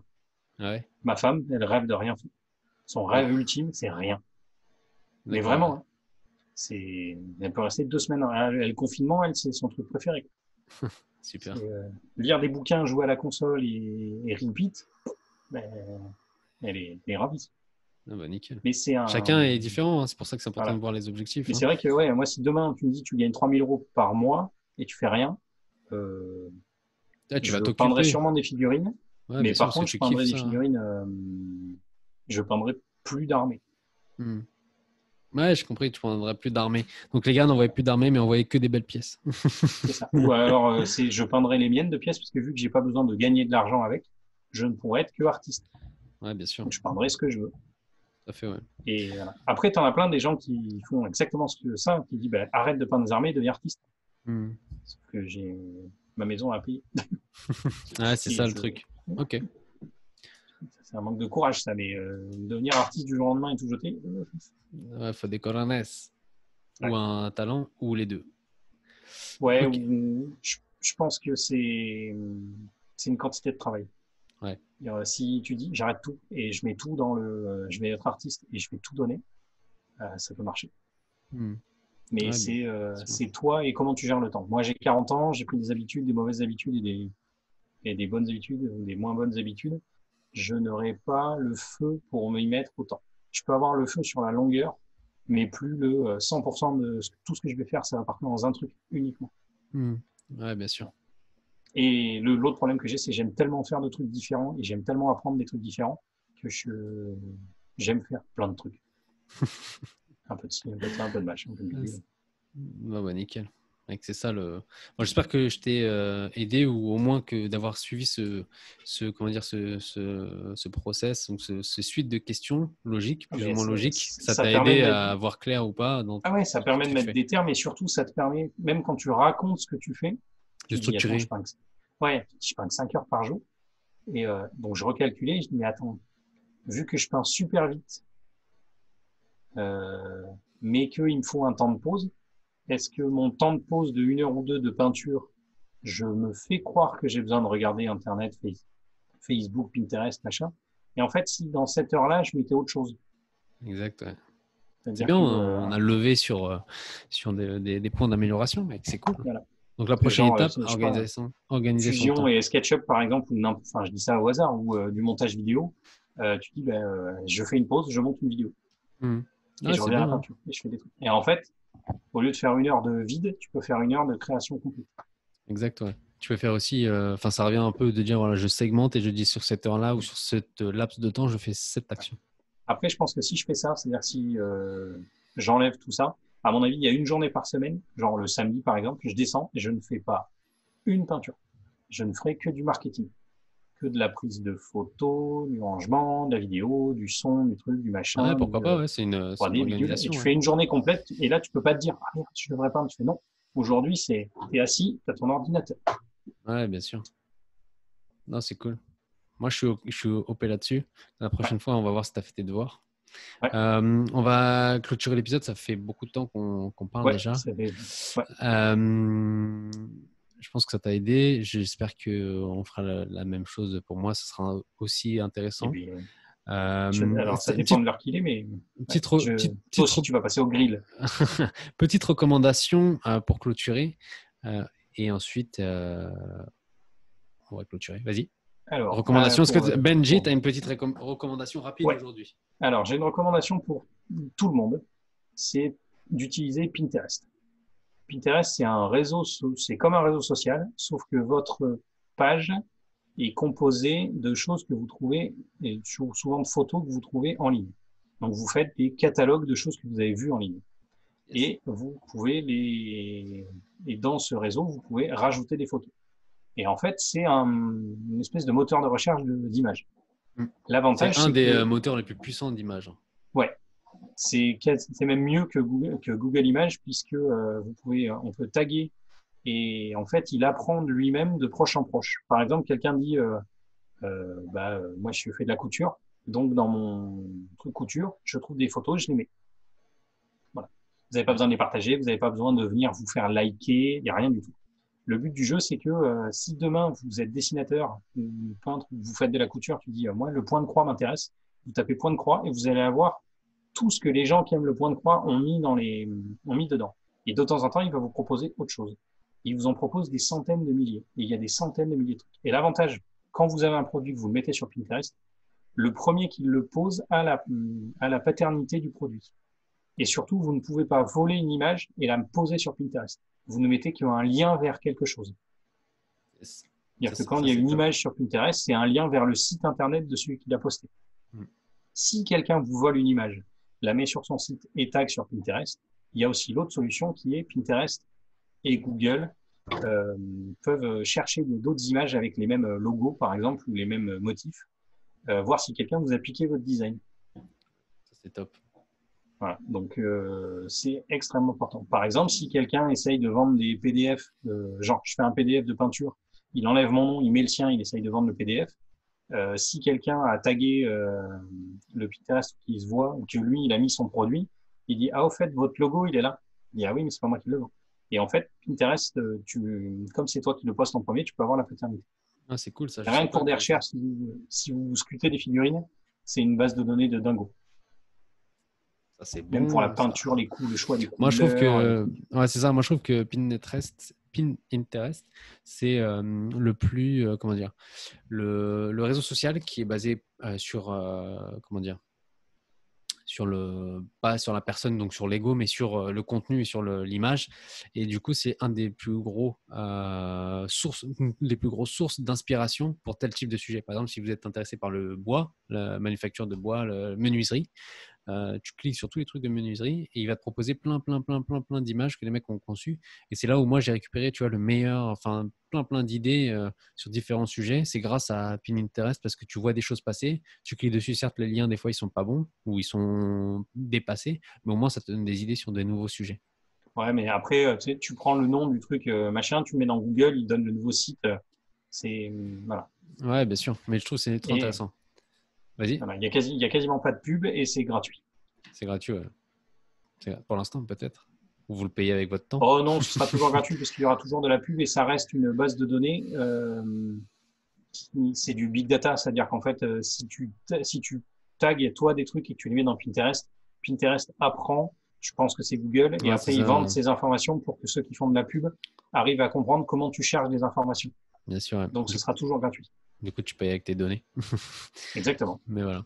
Ok, moi je fais une petite recommandation rapide. Euh, c'est un logiciel qui s'appelle Evernote. Evernote, euh, je ne sais pas si vous connaissez, c'est une euh, application en fait qui te permet de créer des notes et de gérer un petit peu euh, tes pensées. Moi, je l'utilise comment? J'utilise en la puissance en fait d'Evernote par rapport à tous les autres trucs de notes, c'est que tu peux associer des tags, tu peux les classer euh, avec des tags euh, plutôt que sous dossier, dossier, dossier, sous dossier, sous dossier, sous dossier. Tu vois Moi, je mets par exemple une idée, j'ouvre mon téléphone, j'appuie, je marque tag impression 3D, tag my scenario, tag en cours voilà. Et quand je reviens dessus, quand je suis en train de travailler sur un sujet, par exemple sur un nouveau décor, sur un nouveau design, une nouvelle inspiration que tu as pu récupérer sur Pinterest, tu la tag de photo Pinterest et ou le tag inspiration, par exemple. Mais en fait, ça te crée un mini, un mini euh, Google, un mini moteur de recherche dans ta tête, en fait. Ça, c'est le, le, premier point, c'est que ça te fait un mini moteur de recherche de tout ce que tu as vu et que tu as souhaité garder en, en, sauvegarde, on va dire, que, pour réutiliser plus tard. Le deuxième, c'est que ça te libère de l'esprit, euh, plein de pensées euh, néfastes, et tu peux du coup te focaliser sur l'instant, sur ta tâche, comme ils disent les Canadiens, présentement, en ce moment même. Et, présentement? Présentement. Et euh, deuxième, tu te concentres vraiment, tu as l'esprit euh, focalisé dessus. Voilà. la petite recommandation. J'essaie de faire le plus rapidement possible. Et euh, je pense qu'on a fait le tour. On a bien évalué le truc. J'espère que ce sera plus ou moins intéressant. mais moi, je pense que c'était très très flou. Je vais prendre du recul sur ce qu'on vient de faire. Je pense que comme c'est moi, c'était pour moi, c'était très très flou. Il a fallu qu'on cherche.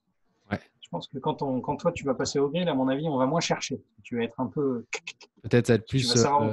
Peut-être. Ça va être plus court ou pas, je sais pas. Peut-être plus d'idées pour les solutions, j'espère. Je sais pas, ouais. On verra, on verra comment ça va se passer. Si vous voulez le savoir, rendez-vous au prochain épisode. Prochain épisode, on analyse imprimeur 3D.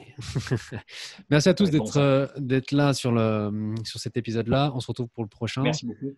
Euh, allez voir euh, Benji la page, à Babel Ben Minis, MyScenary le site, my-scenary.fr. le kiff, à plus, je vous fais des bisous. Ciao Benji et à la prochaine. Allez, bisous. Ciao.